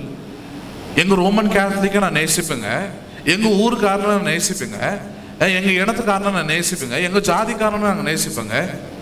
That is not the Christianity நீ எப்படி ஒரே சரீரம் சொல்ல முடியும்? ஆண்டவர் ஏதோ பார்ட்டிஷன் போட்டு வச்சிருக்கிறான்னு வெளிப்படத்தில் இருக்குதா? சொல்லு நான் ஏற்றுக்கிறேன் இந்தியா இருக்கலாம் தனி. அதுவும் இந்தியாவுக்குள்ள இருக்கிற தமிழ்நாடு தனி. அதுவும் தமிழ்நாட்டுக்குள்ள இருக்கிற இவர்கள்லாம் தனி. காலனி ஊர். இதெல்லாம் தனி நீங்கள் வச்சிருக்கிறார. சொல்லு நான் அதை ப்ரீஸ் பண்ணுறேன் நம்புறேன். அப்படியே பழகிப்போம். அப்படியே இருந்துப்போம். பிரச்சனை கிடையாது. ஆனால் அப்படி இல்லையே. ரெண்டே ரெண்டு பிரிவினை தான். நீதிமான்கள் பாவிகள் விசுவாசிகள் அவிசுவாசிகள். இந்த ரெண்டு பிரிவினை தான். அதுவும் சபைக்குள்ள வரும்பொழுது தெய்வீக அன்போடு அப்ரோச் பண்ண சொல்றாரு. சபைக்குள்ள வரும்போது எப்படி அப்ரோச் பண்ண சொல்றது அது கூட சபையில ச- நிறைய பேர் பலவீனரா இருக்கலாம். நிறைய பேர் விசுவாசியாதவர்களா இருக்கலாம். நிறைய பேர் வேற எதுக்கும் இருக்கலாம் சபையில. ஆனா நம்முடைய தெய்வீக அன்பு அவர்களை என்ன பண்ணும்? அதை மாற்றும். ஒருவேளை அது உச்சக்கட்டத்துக்கு போகும்போது ஒருவேளை அவன் அதை நிராகரிச்சு நிராகரிச்சு வேணாம் வேணாம்னு ஒதுக்கும் போது அது வேணா அவனை அழிக்குமே தவிர ஆனால் நம்முடைய அன்பு தெய்வீக அன்பு பலரையும் என்ன பண்ணாது மாற்றும். ஏசு கிறிஸ்து என்கிற அவருடைய ஒரு அன்பு இத்தனை லட்சம் இத்தனை கோடி மக்களை ஆதாயப்படுத்தும் என்றால் நமக்குள்ள ஊற்றப்பட்டிருக்கிற அதே தெய்வீக அன்பு பலரையும் என்ன பண்ணும் அது? தேவனுக்கு நேராய் அவருடைய ரட்சிப்புக்கு நேராய் மீட்புக்கு நேராய் நல்வாழ்க்கைக்கு நேராய் என்ன பண்ணும் அது? ஆதாயப்படுத்தும். புரியுதுங்களா உங்களுக்கு? சரி. அப்ப அதனால தான் சொல்றான் நீங்கள் ஒருவரில் ஒருவர் எப்படி இருக்க கடவோம்? அன்பா இருக்க கடவோம். ஏனெனில் அன்பு தேவனால் உண்டாயிருக்கிறது. யாரால் உண்டாயிருக்கிறது? அதாவது ஒருவரை ஒருவரை நேசிக்கிற அந்த அன்பு இருக்குதே அந்த அன்பு உலகத்திலிருந்து வந்ததல்ல. ஜென்ம சுவாபத்துல வந்ததல்ல. உன் தாய் உன் தந்தை கிட்ட இருந்து பெற்றுக்கொண்டதல்ல. அந்த சுவாபம் அந்த அன்புன்ற சுவாபம் யாரிடத்துல இருந்து வந்தது அது? தேவனிடத்துல இருந்து உனக்கு வந்ததுன்ற. யாருக்கிட்ட இருந்து வந்தது? ஆவியானவரால் ரோமர் ஐந்துல தான் பார்த்தோம். ஆவியானவரால் தேவனிடத்துல இருந்து உன் இருதயத்தில் ஊற்றப்பட்ட அன்பு அது. அந்த அன்பை நீங்க புரிஞ்சுக்கிறீங்க. இன்னைக்கு ஆவியானவர் இருக்கிறார் என் இருதயத்தில் ஊற்றி இருக்கிறாரு. எப்படி இயேசு பிதா சத்துருக்களை சிநேகித்தாரோ பகைவர்களை சிநேகித்தாரோ தனக்கு தகுதி இல்லாதவர்களுக்காக தன்னுடைய இன்னுயிரை கொடுத்தாரோ அதுதான் தெய்வ அன்பு. அந்த அன்பு எனக்கு எனக்குள்ள ஊற்றப்பட்டிருக்கிறது. பட் நான் என்னுடைய சபையில என்னுடைய வாழ்க்கையில என்னுடைய குடும்பத்துல சற்றும் தகுதி இல்லாத எனக்கு சத்துருக்களாய் பகைவர்களாய் இருக்கிற அவர்கள் மீது என்ன அன்பை காண்பிப்பேன் நானு. தெய்வீக அன்பை காண்பிப்பேன். ஒரே நாளில் வளம் வந்துடுது இல்லை பலமுறை சொல்லி இருக்கிறேன் ஒவ்வொரு நாளும் அதில் என்ன பண்ணணும்? வளர்ச்சி அடைய வேண்டும். அதில் அதுல ப்ராக்ரஸிவ் ஆகிட்டே இருக்கணும். அதுக்கு தான் ஜெபிக்கணும். ஆண்டவரே இந்த நாளை கொடுத்திருக்கிறீர். உடைய கிருபையை தாரும். இறக்கத்தை தாரும். நல்வழிகளை காட்டும். வெறும் அதுக்கு மட்டும் இல்லை. உங்களுடைய அன்பையும் எனக்குள்ள என்ன பண்ணும்? ஊற்றி இருக்கிறீர். அதை வளர செய்யும் ஆண்டவரே. ஒரு விசுவாசத்தை எனக்குள்ள ஊற்றி இருக்கிறீர். அதையும் வளர செய்யும் ஆண்டவரே.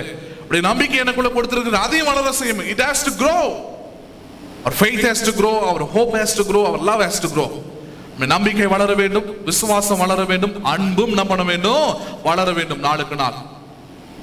புரியுதுங்களா? அப்பதான் இயேசு கிறிஸ்துவ போல அங்க சொல்றாரு பாருங்க அந்த தெய்வீக அன்பு என்ன படுத்தாது வெட்கப்படுத்தாதுன்னு இருக்குது. என்ன படுத்தாது? நம்மை வெட்கப்படுத்தாதுன்னு ரோமர் அஞ்சு அஞ்சுல படிச்சோம். அப்ப அப்படிப்பட்ட ஒரு தெய்வீக அன்பு நமக்குள்ள இருக்கணும்னு அவர் சொல்றாரு. நீங்கள் ஒருவரில் ஒருவர் என்ன பண்ண கடவீர்கள்? அன்பா இருக்க கடவீர்கள். ஏனென்றால் அன்பு யாரால் உண்டாயிருக்கிறது? தேவனால் உண்டா இருக்கிறது வானத்தையும் பூமியை மட்டும் தேவன் உண்டாக்கல. சூரியன் சந்திரனை மாத்திரம் தேவன் உண்டாக்கல. தெய்வீக அன்பையும் யார் தான் உண்டாயிருக்கிறது அவர் தான் உண்டாயிருக்கிறார். சூரியன் சந்திரன்லாம் நம்ம பார்த்துடுறோம் நட்சத்திரங்களை பார்க்கிறோம். எல்லாத்தையும் பார்க்குறோம். பார்க்கும்போது தேவன் உண்டாக்குறான்னு நினைக்கிறோம். மனுஷங்களை பார்க்குறோம். தேவன் உண்டாக்குறான்னு நினைக்கிறோம். பிள்ளைங்களை பார்க்குறோம். தேவன் உண்டாக்குறான்னு நினைக்கிறோம். அது மட்டும் இல்லை மனுஷனுக்கு அத்தியாவசியமாய் தெய்வனுடைய சாயலை பிரதிபலிக்கக்கூடியதாக இருக்கக்கூடிய தெய்வீக அன்பையும் அவர் தான் நம்படுகிறாரா உண்டாக்குகிறார். அன்பு யாரால் உண்டாயிருக்கிறது? தேவனால் உண்டாயிருக்கிறது. சரி. அன்புள்ள எவனும் தேவனால் பிறந்து அவர் என்ன பண்ணியிருக்கிறான்? அறிந்திருக்கிறான். சொல்றாரு தெய்வீக அன்பு எவனுக்குள்ளெல்லாம் இருக்குதோ அவன் மறுபடியும் பிறந்திருக்கிறான் அர்த்தம். எப்படி பிறந்திருக்கிறான் அவன்? அன்புள்ள எவனும் தேவனால் பிறந்து அவர் என்ன பண்ணியிருக்கிறான்? அறிந்திருக்கிறான் மறுபடியும் பிறந்து அவரை குறித்து அறிஞ்சிருக்கிறான் கேட்டிருக்கிறான். சபைக்கு வந்திருக்கிறான் பிரசங்கத்தை கேட்டிருக்கிறான்னு அர்த்தம். வேற ஒண்ணும் கிடையாது. சபைக்கு வராதவர்கள் பிரசங்கத்தை கேட்காதவர்களுக்கு தெய்வீக அன்புனா என்ன பண்ணாது? தெரியாது. அவங்க அவங்கள அவங்களெல்லாம் பார்த்தீங்கன்னா எங்கேயோ ஒரு இடத்துல கூட்டு போறீங்க. எங்கேயாவது ஒரு இடத்துல வராங்க. ஒரு சபையில் கூட இருக்கிறாங்கன்னா அவங்க வந்து தனிச்சையாக செயல்பட்டுவாங்க. பார்த்துக்கிறீங்களா தனிமையாக செயல்படுவாங்க. அவங்கள என்ன சொல்லுங்க? வரவே வராது. ஏன்னா இது தேவனால் உண்டாயிருக்கிறது. யாரால் உண்டாயிருக்கிறது? தேவனால் உண்டாக்கப்படுகிற காரியம். அப்ப இந்த இடத்துல ரொம்ப அழகா சொல்றாரு. அன்பு யாரால் உண்டாயிருக்கிறது? தேவனால் உண்டாயிருக்கிறது. அது மாத்திரமல்ல. அன்புள்ள எவனும் தேவனால் பிறந்தவரை என்ன பண்ணியிருக்கிறான்? அறிந்திருக்கிறான். அன்பில்லாதவன் தேவனை அறியான். தேவன் அன்பாகவே இருக்கிறார். அதே சொல்றார் அன்பில்லாதவன். தெய்வீக அன்பில்லாதவன். தேவனை என்ன பண்ணவில்லை அவன்? அறியவில்லை. ஏன் அறியல? பைபிள் இல்லையா? பிரசங்கியார் இல்லையா? எல்லாம் இருக்குது. வந்து கேட்கறது இல்லை என்ன பண்ணுறதில்ல கேட்பதற்கு நேரத்தை கொடுக்கறது இல்ல கேட்கறதுக்கு பல விதமான சாக்குகளை சொல்வது. அதுலதான் வாழ்க்கையில ஆசீர்வாதம் இல்லை. கஷ்டத்தை படும் போது பார்த்து பரிதாபம் தான் பட வேண்டியதா இருக்குது. ஆண்டவரே அவங்களுக்காக நம்ம பரிந்து பேச வேண்டியதா இருக்கு உதவி செய்யும். என்ன பண்றது ஆண்டவர்? பரிதாபமா இருக்குது. நல்லா இருக்கும்போது வந்து என்ன பண்றது இல்ல வசனத்தை கேட்பது இல்லை கஷ்டப்படுறவங்களாம் வந்து கேட்குறாங்க தூரத்துல இருந்தவங்களாம் வந்து கேட்குறாங்க பக்கத்துல இருக்கிறவங்க என்ன பண்றதுல வந்து நேரத்தை கொடுப்பதில் எல்லாத்தையும் கொடுத்துருவாங்க. ஆண்டவருக்காக உயிரே கொடுப்பேன். நேரத்தை கொடு முதல்ல நீ. எதை கொடு முதல்ல? அவரை அறிந்து கொள்வதற்கு அவருடைய அன்பு என்ன என்பதை புரிந்து கொள்வதற்கு அந்த அன்புல எப்படிப்பட்ட காரியங்கள் இருக்குது என்பதை அறிந்து கொள்வதற்கு முதல்ல எதை கொடு? நேரத்தை கொடு. முதல்ல சபைக்கு வா. பிரசங்கத்தை கேளு. அதுக்கு நேரத்தை கொடுக்காம அதுக்கு காதை கொடுக்காம அதுக்கு இருதயத்தை கொடுக்காம ஆண்டவருக்காக உயிரை கொடுப்பேன். டயலாக்லாம் நமக்கு தேவையில்லை.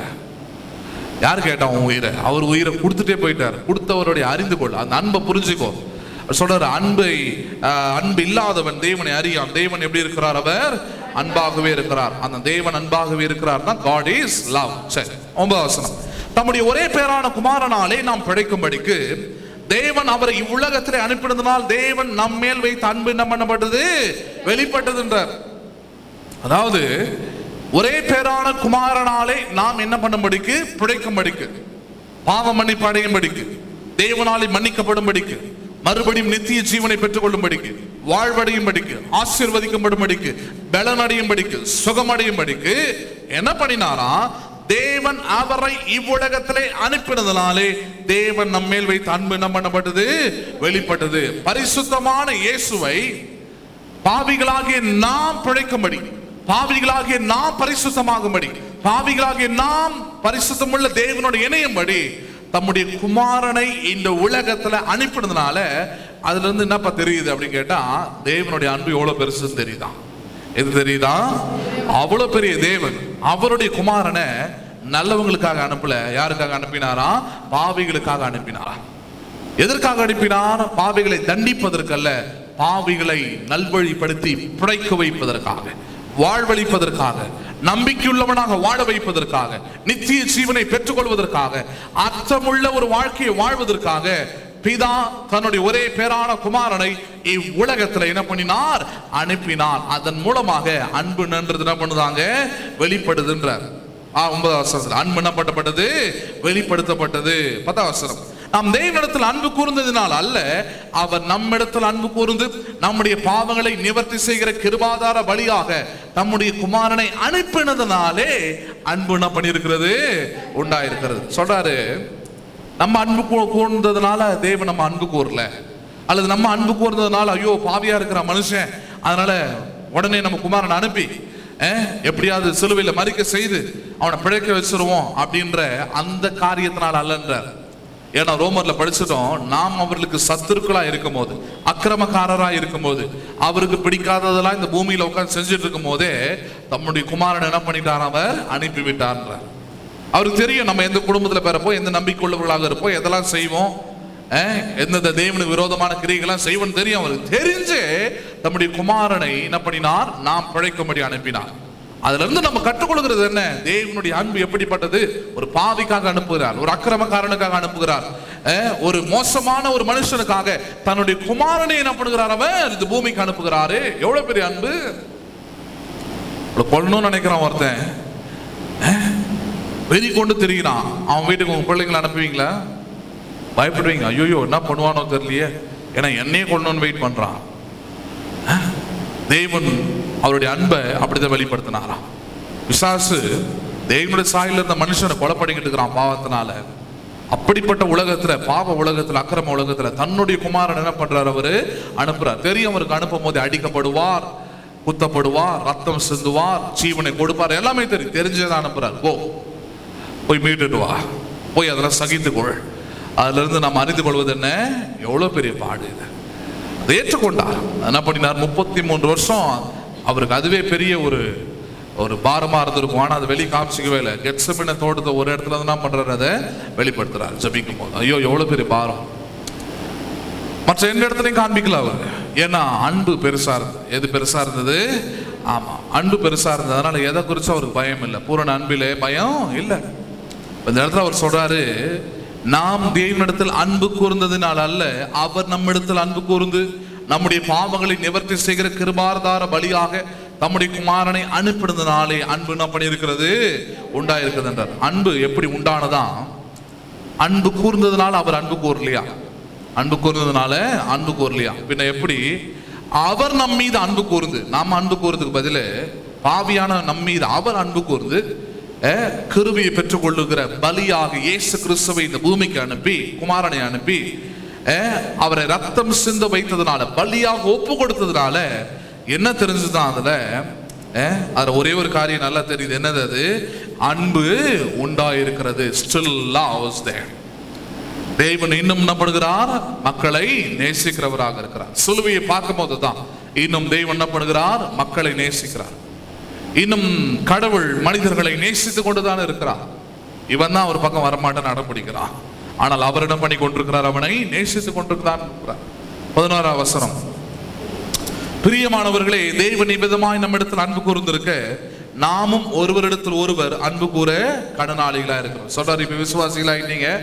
ஆவியானவர் உங்களுக்குள்ள வந்துட்டாரு. எல்லாம் ரைட் இப்ப நீங்க ஒரு காரியத்தை செய்ய கடனாளிகளா இருக்கிறீர்கள். என்ன காரியம்? எப்படி பாவிகளா இருந்த உங்கள் மீது தேவன் அன்பு கூர்ந்து நீங்க அவரை ஏற்றுக்கொண்டு நீங்க அவருக்காக இப்ப ஜீவனையும் கொடுப்புன்ற அந்த ஐக்கியத்துக்குள்ள வந்திருக்கிறீங்களோ? அந்த அன்பை புரிஞ்சுக்கிட்டீங்களோ? அந்த அன்பை அறிஞ்சுக்கிட்டீங்களோ? அந்த அன்பை ஆவியானவரால் பெற்றுக்கொண்டீங்களோ? அந்த அன்பு அதே தெய்வீக அன்பை இப்ப மற்றவர்களுக்கு என்ன பண்ணுங்க? காட்டுங்க. எப்படி தேவன் உங்களுக்கு அன்பு காண்பிச்சாரோ அதே போல நீங்க என்ன பண்ணுங்க? சஸ்திரர்களுக்கும் பகைவர்களுக்கும் உங்களை விரோதிக்கிறவர்களுக்கும் என்ன பண்ணுங்க? அந்த அன்பை காண்பியுங்கள்ன்றார் என்ன பண்ணுங்கள் நீங்கள்? காண்பியுங்கள் சொல்றாரு பாருங்க. பிரியமானவர்களே தேவன் இவ்விதமாய் நம்மிடத்தில் அன்பு கூர்ந்திருக்க எவ்விதமாய் அன்பு கூர்ந்தார்? நம்முடைய பாவங்களை நிவர்த்தி செய்கிற கிருபாதார பலியாக தம்முடைய குமாரனை அனுப்பினதனாலே இருக்குதே. அவ்விதமாய் தம்முடைய குமாரனை நம்முடைய பாவத்திற்காக அனுப்பினாரே இவ்விதமாய் நம்மிடத்தில் அன்பு கூர்ந்திருக்க. நாமும் ஒருவரிடத்தில் ஒருவர் அன்பு கூற கடனாளிகளா இருக்கிறோம். நாளிகள் கடன் பெற்றவர்கள் அர்த்தம். கடன் வாங்கிட்டா எப்படி கண்டிப்பா மறுபடியும் அது கொடுத்தாகணுமோ சொல்றாரு நீ தேவ அன்பை ஆவியானவராலே உன் இருதயத்தில் பெற்றுக்கொண்டது உண்மை என்றார். நீ இயேசு கிறிஸ்துவின் அன்பை புரிந்து கொண்டு ரட்சிக்கப்பட்டது உண்மை என்றார். அவருடைய அன்பு சிறந்தது மேலானது என்பதை புரிந்து கொண்டு ஏற்றுக்கொண்டது உண்மை என்றால் அதை மறுபடியும் மற்றவனுக்கு காண்பிக்க நீ யாரா இருக்கிறாய் கடனாளியா இருக்கிறாய் யாரா இருக்கிறாய் நினைச்சா செய்யலாம். நினைச்சா கொடுக்கலாம். நினைச்சா மற்றவங்களுக்காக ஜோம் பண்ணலான்னு இல்லை. தேவன் உனக்கு எப்படி பாவியா இருக்கும் போது அவரோட அன்பை கொடுத்தாரோ அன்பை நீ கடன் வாங்கியிருக்கிற இப்போ அந்த அன்பை என்ன பண்ணு? மற்றவங்களுக்கு கொடுன்றார். ஷேர் பண்ண. அவர்கிட்ட இருந்து வாங்கின அன்பு என்ன பண்ணிப்ப அங்க கொடுன்றார். புரியுதுங்களா உங்களுக்கு? அங்க என்ன பண்ணு? கொடு. அது நம்ம ஆளுங்களுக்கு வரவே வராது. ஏன்னா அப்படி பாவ புத்தி அப்படி ஆயிடுச்சு பார்த்துருக்குறீங்களா? பழைய ஏற்பாட்டு காலத்தில் ஆண்டவர் நிறைய காரியங்களை சொல்றாரு. அதுல சில விளைச்சல்களை குறித்து இதெல்லாம் பேசும்போது சொல்றாரு. கீழே விழுந்தது ஒன்றும் பொறுக்காதுன்றார். கீழே விழுந்தது என்ன பண்ணாத? ஒன்றும் பொறுக்காது. ஏன்னா அந்த ஊர்ல நாடோடிகளாக வந்தவங்க உரிமை இல்லாம இருக்கிறவங்க இந்த மாதிரி ஆட்கள் நிறைய பேர் இருப்பாங்க. அவங்களாம் வந்து அதை என்ன பண்ணிட்டோம்? பொறுக்கிக்கிட்டோம். ரூத் அப்படிதான் பொறுக்க வந்தவன் ஓவாசோட நிலத்துல. ஏன்னா அது பொறுக்க கூடாதுன்றார் கீழே விழுந்தது என்ன பண்ணக்கூடாது? எடுக்கவே கூடாது. நம்ம ஆளு என்ன பண்ணுவாங்க? இழுத்து கட்டுறா உள்ள. அஹ், என்ன வெளியே இருந்து எவனா எடுத்துட்டு போயிட்டானா உள்ளவே ஏராளமா காய்ச்சி தொங்கி உள்ள சேர்த்து வச்சுக்கிட்டு இருப்போம். அழுகி போயின்னு கிடக்கும் நிறைய. ஆனாலும் மற்றவங்க எடுத்து சாப்பிடக்கூடாது பிரதர் நல்லா இருந்துடக்கூடாது பிரதர் அந்த புத்தி எல்லா இடத்துலயும் வருதுன்றாங்க.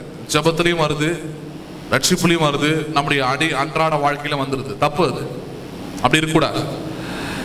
அப்படி என்ன பண்ணக்கூடாது? இருக்கக்கூடாது. எல்லாவற்றிலையும் அஹ், ஏமாலியா இருக்க சொல்லல பெருந்தன்மையா இருக்க கற்றுக்கொள்ளுங்கள். எப்படி இருக்க கற்றுக்கொள்ளுங்கள்? ஆமா. உங்களுக்கு தேவை ரெண்டு எக்ஸ்ட்ரா ரெண்டு இருக்குதுன்னா கொடுத்துருங்க. ஒன்றும் பிரச்சனையே கிடையாது. விளையாம ஒன்றும் போவாது. வராம ஒன்றும் போவாது. நிற்காமல் ஒன்றும் போவாது. அழிஞ்சு ஒன்றும் போயிடாது. எதுவும். அந்த புத்தி இல்லை பாருங்க. அவங்களுக்கு கொடுங்கள் அப்பொழுது கூட உங்களுக்கு கூட கொடுக்கப்படும். மறுபடியும் கொடுக்கப்படும். கொடுத்ததை விட அதிகமாக பெற்றுக்கொள்வீங்க. அந்த அறிவே இல்லாத இல்லாதனால பிச்சு கொடுக்கறது கிள்ளி கொடுக்கறது கொடுக்காம இருக்கிறது சேர்த்து வைக்கிறது. ஐஸ்வர்யான்னு ஒருத்தன் தன்னுடைய நிலத்தில் அதிகமான விளைச்சல் வந்தோடனே நைட்டு படுத்துக்கிட்டு விட்டத்தை பார்த்து தான் பேசிக்கிட்டு உட்காந்துருந்தான் அவன். என் ஆத்துமாவே சம்பூர்ணமாய் புசித்து கூடி உனக்கு ஏ- செ- தேவையானதெல்லாம் ஏராளமாக என்ன பண்ணியிருக்கிறேன்? சேர்த்து வச்சிருக்கிறேன்றான் ஆண்டவர் கேட்குறார் நைட்டு செத்து போனால் எங்கடா போவோம் இதெல்லாம்? எவன் உணவுல அள்ளிட்டு போவான்? ஒருவேளை ரொம்ப பெரிய பூட்டை பூடினா எவனுக்குமே பிரோஜனம் இல்லாமல்லவா நாரி போவான் அது? என்னடா பிளான் போடுற? என்னடா நினைக்கிற? இதுக்கா மனுஷனாக இருக்கிற? ஒரு காக்காவை பார்த்து கற்றுக்கூடா ஒரு எறும்பை பார்த்து கத்துக்கடா ஏ அதுங்களுக்கு ஒரு சின்ன உணவு கிடைச்சா அதுங்களுக்கு சின்ன ஒரு காரியம் கிடைச்சா தனியாக உட்காந்து ஒன்று தின்றது கிடையாது. எல்லாத்தையும் என்ன பண்ணுது? கூப்பிடுது. மிருகம் உன்னை காட்டிலும் நல்ல சுவாபம் உள்ளதாக இருக்குது? மனுஷன் நீ நாகரிகம் உள்ளவன் சொல்ற நீ எவ்வளோ எவ்வளவு கேவலமா நடந்துக்கிற? எவ்வளவு இழிவா நடந்துக்கிற உன் காரியத்துல? ஹலோ? பெரிய பெரிய சில கஞ்சத்தனமான பணக்காரர்களை நான் பார்த்துருக்கிறேன். ஓடி போய் ஒளிவான் ஓடி போய் என்ன பண்ணுவாங்க? ஒளிவாங்க. சில சாப்பிட்ற இடத்துக்கு எங்கேயாவது போனால் ஓடி போய் ஒழிஞ்சுப்பாங்க எங்கே? அவங்களுக்கு வாங்கி கொடுக்கணுமே. லட்ச லட்சமாக இருக்கும். கோடி கோடியாக இருக்கும். ஆனால் அந்த புத்தி தான் புத்தி அது. ரொம்ப கேவலமான ஒரு புத்தி. மற்றவர்களை குறித்து யோசிக்காத புத்தி.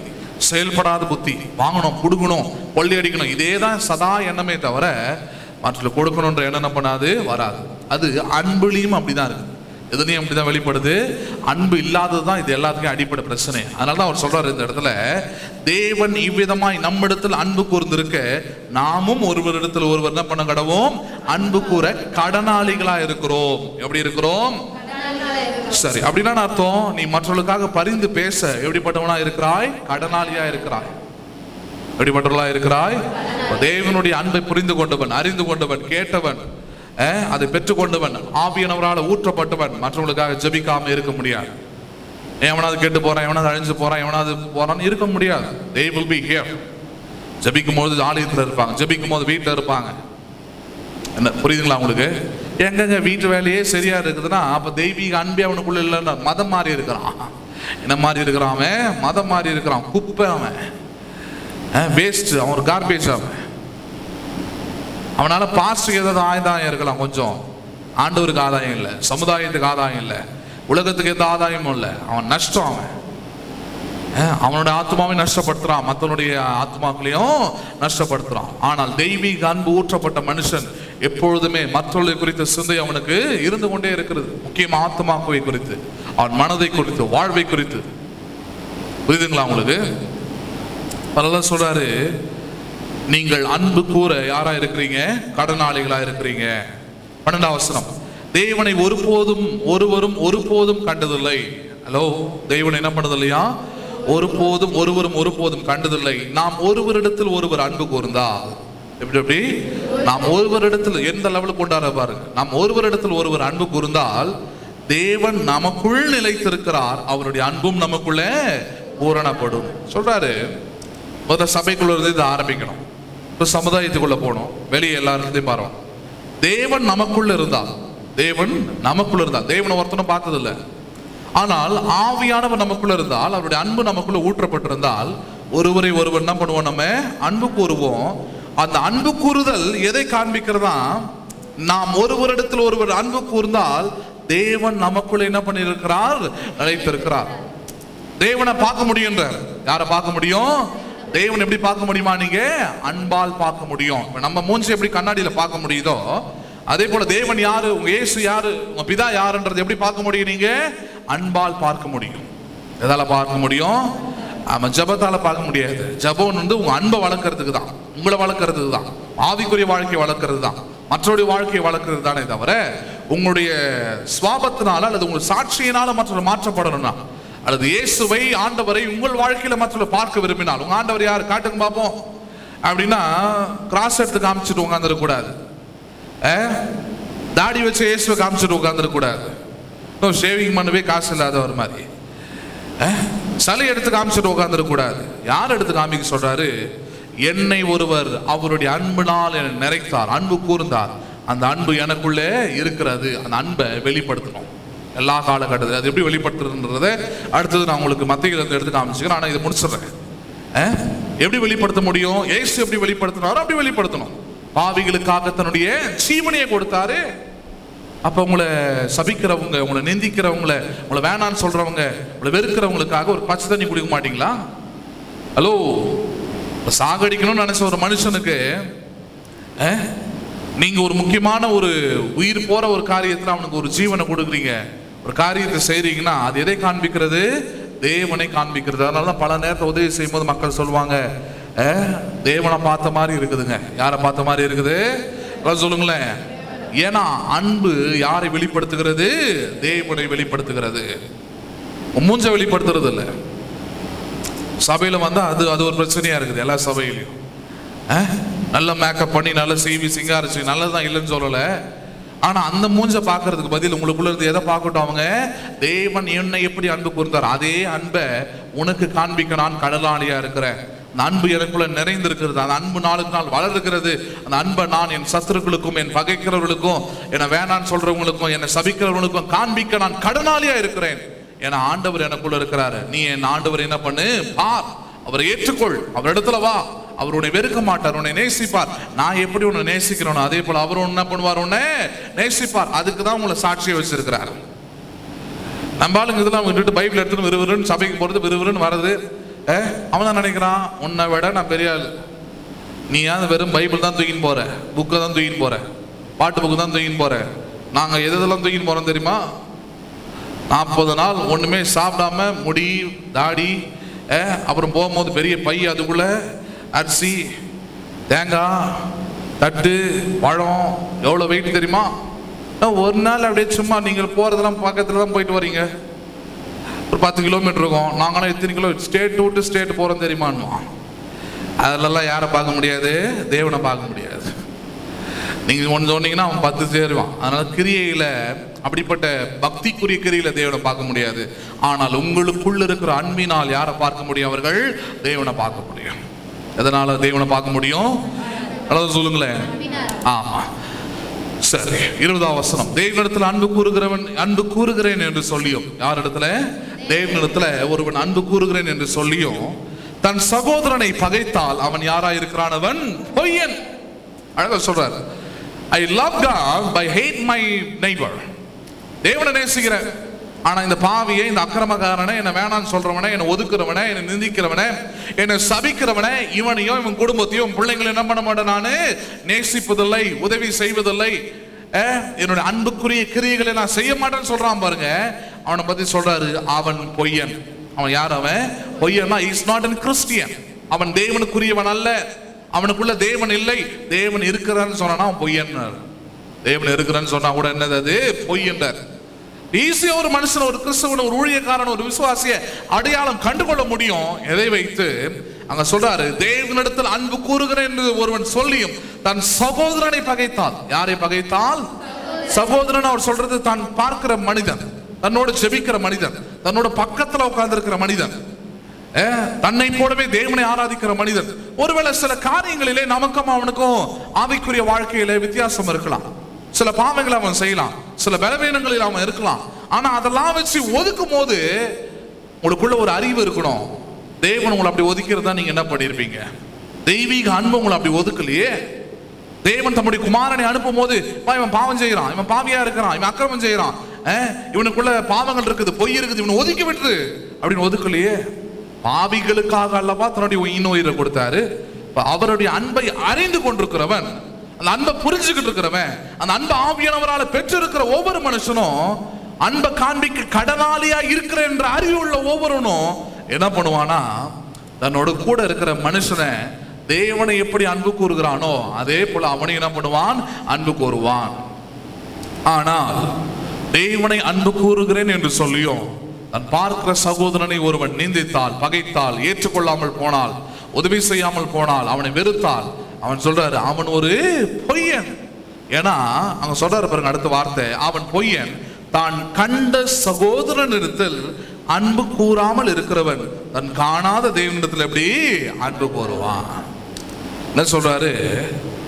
தேவனுடைய அன்பை அவர் கண்ணால பார்க்காமயே நீ வந்து அவருடைய அன்பை ஊற்றப்பட்டது புரிஞ்சுக்கிட்டே அவர் சிலுவையில் மறித்தாரு உனக்காக ரத்தம் செஞ்சினாரு உன் நல்வாழ்வுக்காக பிழைப்புக்காக நம்புற ரைட் ஏற்றுக்கொண்ட.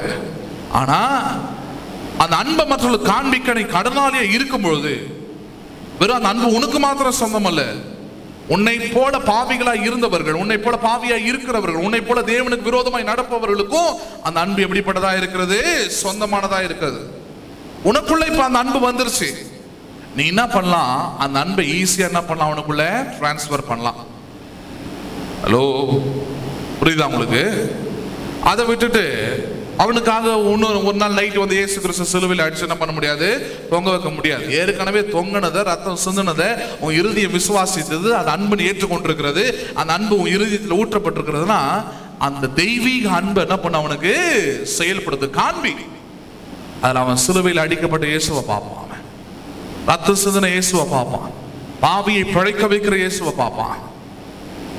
அப்படி அவன் ஆதாயப்படுத்து அவன் அப்படி ரட்சிக்கப்பட்ட மனுஷனாய் மாற்று. ஒருவேளை அப்படிப்பட்ட தன்மை உனக்குள்ள அதுக்காக ஜோம் பண்ண. ஆண்டவரே உண்மை நேசிக்கிறேன். ஆனா பார்க்கிற சகோதரன் என்ன பண்ண முடியல? என்னால நேசிக்க முடியல. என் பக்கத்துல உட்கார்ந்து இருக்கிறவனை என்னால அன்பு கூற முடியல. அவன் நல்லா இருக்க கூடாதுன்னு நினைக்கிறேன். இப்படிதான் நினைக்கிறேன் நான். அவன் நல்லாவே இருக்கக்கூடாது அவன் அழிஞ்சு போகணும் குட்டிசோரா போனதுன்னு நினைக்கிறேன்.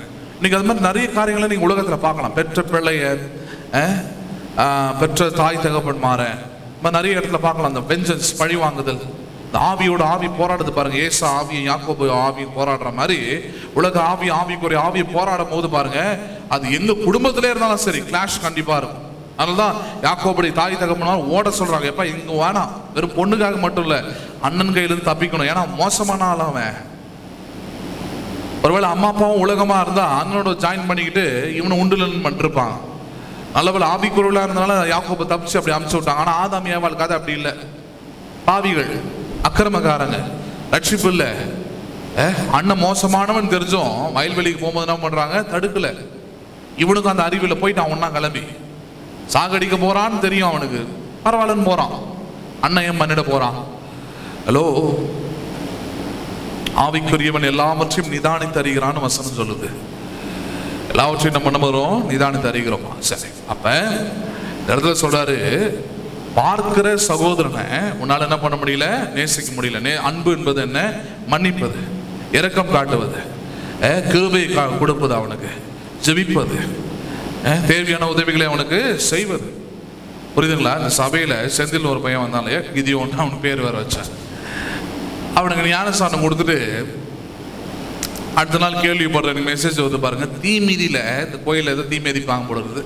அது மிதிச்சுட்டு வந்துட்டு ஞானஸ்தானம் எடுத்துருக்குறான். எனக்கு தெரியல அதெல்லாம். இல்லைன்னா எனக்கு அந்த வேலை கிடையாது. சிஐடி ஒர்க் எனக்கு கிடையாது. என் ஒர்க் என்ன? ஒருத்தன் வாங்கினால அறிக்கை செய்கிறான்னா எவனா இருந்தாலும் கொடுத்துட்டு போகிறது என் வேலை. அவ்வளோதான் என் வேலை. அங்கீகரிக்கிறது அங்கீகரிக்காதது அவரோட வேலை. பண்ணிட்டு போயிட்டு அடுத்த நாள் வந்தான். வரும்போது நல்ல புள்ள மாதிரி வந்து அது இது மாதிரி பண்ணிட்டேன் அப்படின்னா நான் நினச்சேன் உண்மையாக உணர்ந்து தான் நான் பண்ணாமல் கேட்குறான் சரி இப்போ மன்னிச்சிரும் ஒன்றும் பிரச்சனை இல்லையே. அப்படின்னு சொன்னேன் ஒன்றும் பிரச்சனை இல்லைப்பா. இப்போயாவது நீ உணர்ந்துட்டியா அப்படின்னு பார்த்தா அப்புறம் வேற என்னன்னா அவனை அவங்க வீட்டில் ஒருத்தவங்க ஃபோன் பண்ணி கேட்டுக்கிறான். நம்ம அப்படி பண்ணியிருக்கிறானா? அப்படின்ட்டு அவனுக்கு என்ன பையனா எங்கே இவங்க வந்து எங்கிட்ட சொல்கிற போகிறாங்க பாஸ்டுக்கு ஆதாரபூர்வமாக தெரிஞ்சிட போகுதுன்றதுக்காக பார்த்து யோசிச்சு பார்த்து எவ்வளோ கண்ணிங்க இருக்கிறானுங்க பசங்க. அப்படிலாம் ஞானஸ்தானம் எடுக்க வேண்டியதில்லை. அப்படிலாம் ஒன்று அன்பு கூற போகிறது இல்லை ஞானஸ்தானம் எடுக்காதப்ப அந்த பையன் உடம்பு சரியில்லாமல் போகிறான் பாருங்கள் என்னால் முடிந்த வரைக்கும் அவனுக்கு சில உதவிகளை செஞ்சேன். படுக்க ரொம்ப படுமோசமாக இருந்தது அவனோட ஹெல்த்து ஆட்டோவில் ஏற்றி அவனை அனுப்பி ஜிஎஸ்ல அங்கே ஃபோன் பண்ணி அங்கே சொல்லி அவனை பார்த்துக்க சொல்லி எல்லா காரியத்தையும் பண்ணேன். நைட்டில் எட்டரை மணி ஒம்பது மணி டிஸ்சார்ஜ் ஆகும்போது நான் என் வண்டி எடுத்துகிட்டு போயிட்டு அஹ், நானே எடுத்துகிட்டு போயிட்டு அவனை ஏற்றி உட்கார வச்சு நானே கொண்டு வந்தேன். ஆனாலும் அவனுக்குள்ள அந்த மாற்றம் என்பது என்ன பண்ணல அவனுக்குள்ள ஆவிக்குரிய மாற்றம் வரல. நாலு மெசேஜ் குட் மார்னிங் சார். நான் மேத்தமெட்டிக்ஸ் எடுக்கிறேன்னா ஸ்கூல் நடத்துறேன்னு நினச்சிங்கிறான் உங்களுக்கு. ஸ்கூல் வாத்தியார் நினச்சிட்டாங்க. மற்றவங்கள பார்க்குறான். மற்றவங்க பேசும்போது கவனிக்கிறான். அதை வச்சு என்ன பண்ண முடியும்? அந்த ஆவிக்குரிய ஸ்பிரிச்சுவல் லெவல் சொல்கிறான் அவனை வெறுக்கல. அந்த முதிர்ச்சி அவனுக்குள்ளே வரல பாருங்க. இத்தனை வருஷம் இத்தனை மாதமாக வந்தும் சபன் யோசிக்க முடியல அவனால். பாஸ்டர்னு யோசிக்க முடியல. அஹ் அவன் ஏதோ ஒரு ஆதாய எண்ணத்தோடவே இருக்கிறான். அது என்னன்னு புரியுது எனக்கு. புரியாம ஒன்றும் இல்லை நம்ம. ஆனால் அவன் என்ன பண்றது இல்லை நம்ம வெறுத்து ஏன்டா வர அப்படின்னு பண்றது இல்லை யாரையும் பண்ண முடியாது. பண்ண முடியுமா? முடியும். ஆனா தகுதியா இராது ஏன்னா அன்பு அது. என்னது அது? அன்பு. அன்பு என்ன பண்ணும் அது? தெரியுது அவன் பலவீனமா இருக்கிறான். அவன் உடஞ்சு போயிருக்கிறான் தெரியுது. அவன் சரியில்லைன்னு தெரியுது. இந்த அன்பு கடைசி வரைக்கும் ஒரு முயற்சியிலே இருக்கும். என்ன முயற்சி? அவனை மாற்றுமா. என்ன பண்ணுமா அது? அவனை மாற்றுமா. அவனை நல்ல விசுவாசியை மாற்றுமா. பேதுரு அப்படிதான் மன்னிச்சது மறுதளிச்சுட்டு போயிட்டான். ஆனா தேடி போய் என்ன பண்ணுது அவனை? ஆண்டவர் நேசிக்கிறார். நேசிக்கிறாயான்னு கேட்டார். அதுதான் அவனை மாற்றுச்சு. உயிர் கொடுக்குற அளவுக்கு மாறுச்சு இப்போ நம்மளுடைய வாழ்க்கையின் டார்கெட் எல்லாமே தான் ஊழியத்தில் நான் எக்ஸாம்பிளாக சொல்கிறேன் உங்கள் லைஃப்பில் நீங்கள் எடுத்துக்கோங்க உங்கள் டார்கெட்ஸ்லாம் உங்கள் எதிரிகளை பாருங்கள் சத்துருக்களை பாருங்கள் உங்கள் லைஃபின் டார்கெட் எதுவாக இருக்கணும்னா இந்த தெய்வீக அன்பை காண்பிப்பதில் நீங்கள் எப்படி இருக்கிறீங்க? கடனாளியாக இருக்கிறீங்க. அது first you to start from the church எங்கிருந்து ஆரம்பிக்கணும்? அதை சபையிலிருந்தே ஆரம்பிக்கணும். அதான் சொல்றாரு காண்கிற சகோதரனை உன்னாலே அன்பு கூற முடியவில்லை. பின்பு எப்படி காணாத தேவனை நீ அன்பு கூறுவாய் அது பொய் அல்லவா? அது என்னது அது? பொய்யாச்சு அது? பார்க்கிற மனுஷனை எந்த வித்தியாசமும் இல்லாம எந்த ஏற்றத்தாழ்வும் இல்லாம எந்த உயர்வு தாழ்வுன்னு பார்க்காம நேசிக்கிற பாரு அதுதான் உண்மையான தெய்வம் அன்பு அதுதான் தெய்வன் உண்மையாகவே மனுஷன் அன்பு கூர்ந்த அன்பு. அந்த அன்பு உனக்குள்ள இருந்து வெளிப்படும் பொழுது தெய்வீக அன்பை நீ வெளிப்படுத்துகிறாய். அப்ப நீ தேவன் அன்பு கூறுதுன்னு சொல்றதும் உண்மை. இவன் அன்பு கூறுறதும் உண்மையா இருக்கும் ஆனா தேவன் அன்பு கூறுறன்னு சொல்லி பார்க்கிற சகோதரனை நீ வெறுக்கிறாய் என்றால் ஒதுக்குறாய் என்றால் அவனை மன்னிக்கலனா அவனை இரக்கம் காட்டலனா அவனுக்கு கிருப காட்டலனா இவர் லவ் இஸ் லை உன்னுடைய அன்பு எப்படிப்பட்டதா இருக்கிறது? பொய்யா இருக்கிறது. புரியுதுங்களா? அப்ப அன்பு இருந்தால் நிச்சயமாகவே மற்றவர்களுக்காக நம்ம என்ன பண்ணுவோம்? ஜெபம் செய்வோம் பரிந்து பேசுவோம் வாழ்வழிப்போம் இயேசு கிறிஸ்துவ போல. புரியுதுங்களா உங்களுக்கு? இதுக்கு ஒரே ஒரு எக்ஸாம்பிள் எடுத்து காண்பிக்கிறேன் பாருங்க. மத்திய ஐந்தாவது அதிகாரம். நாற்பத்தி நாலுல இருந்து நாற்பத்தி எட்டு வரைக்கும் பாருங்க. மத்திய ஐந்தாவது அதிகாரம்.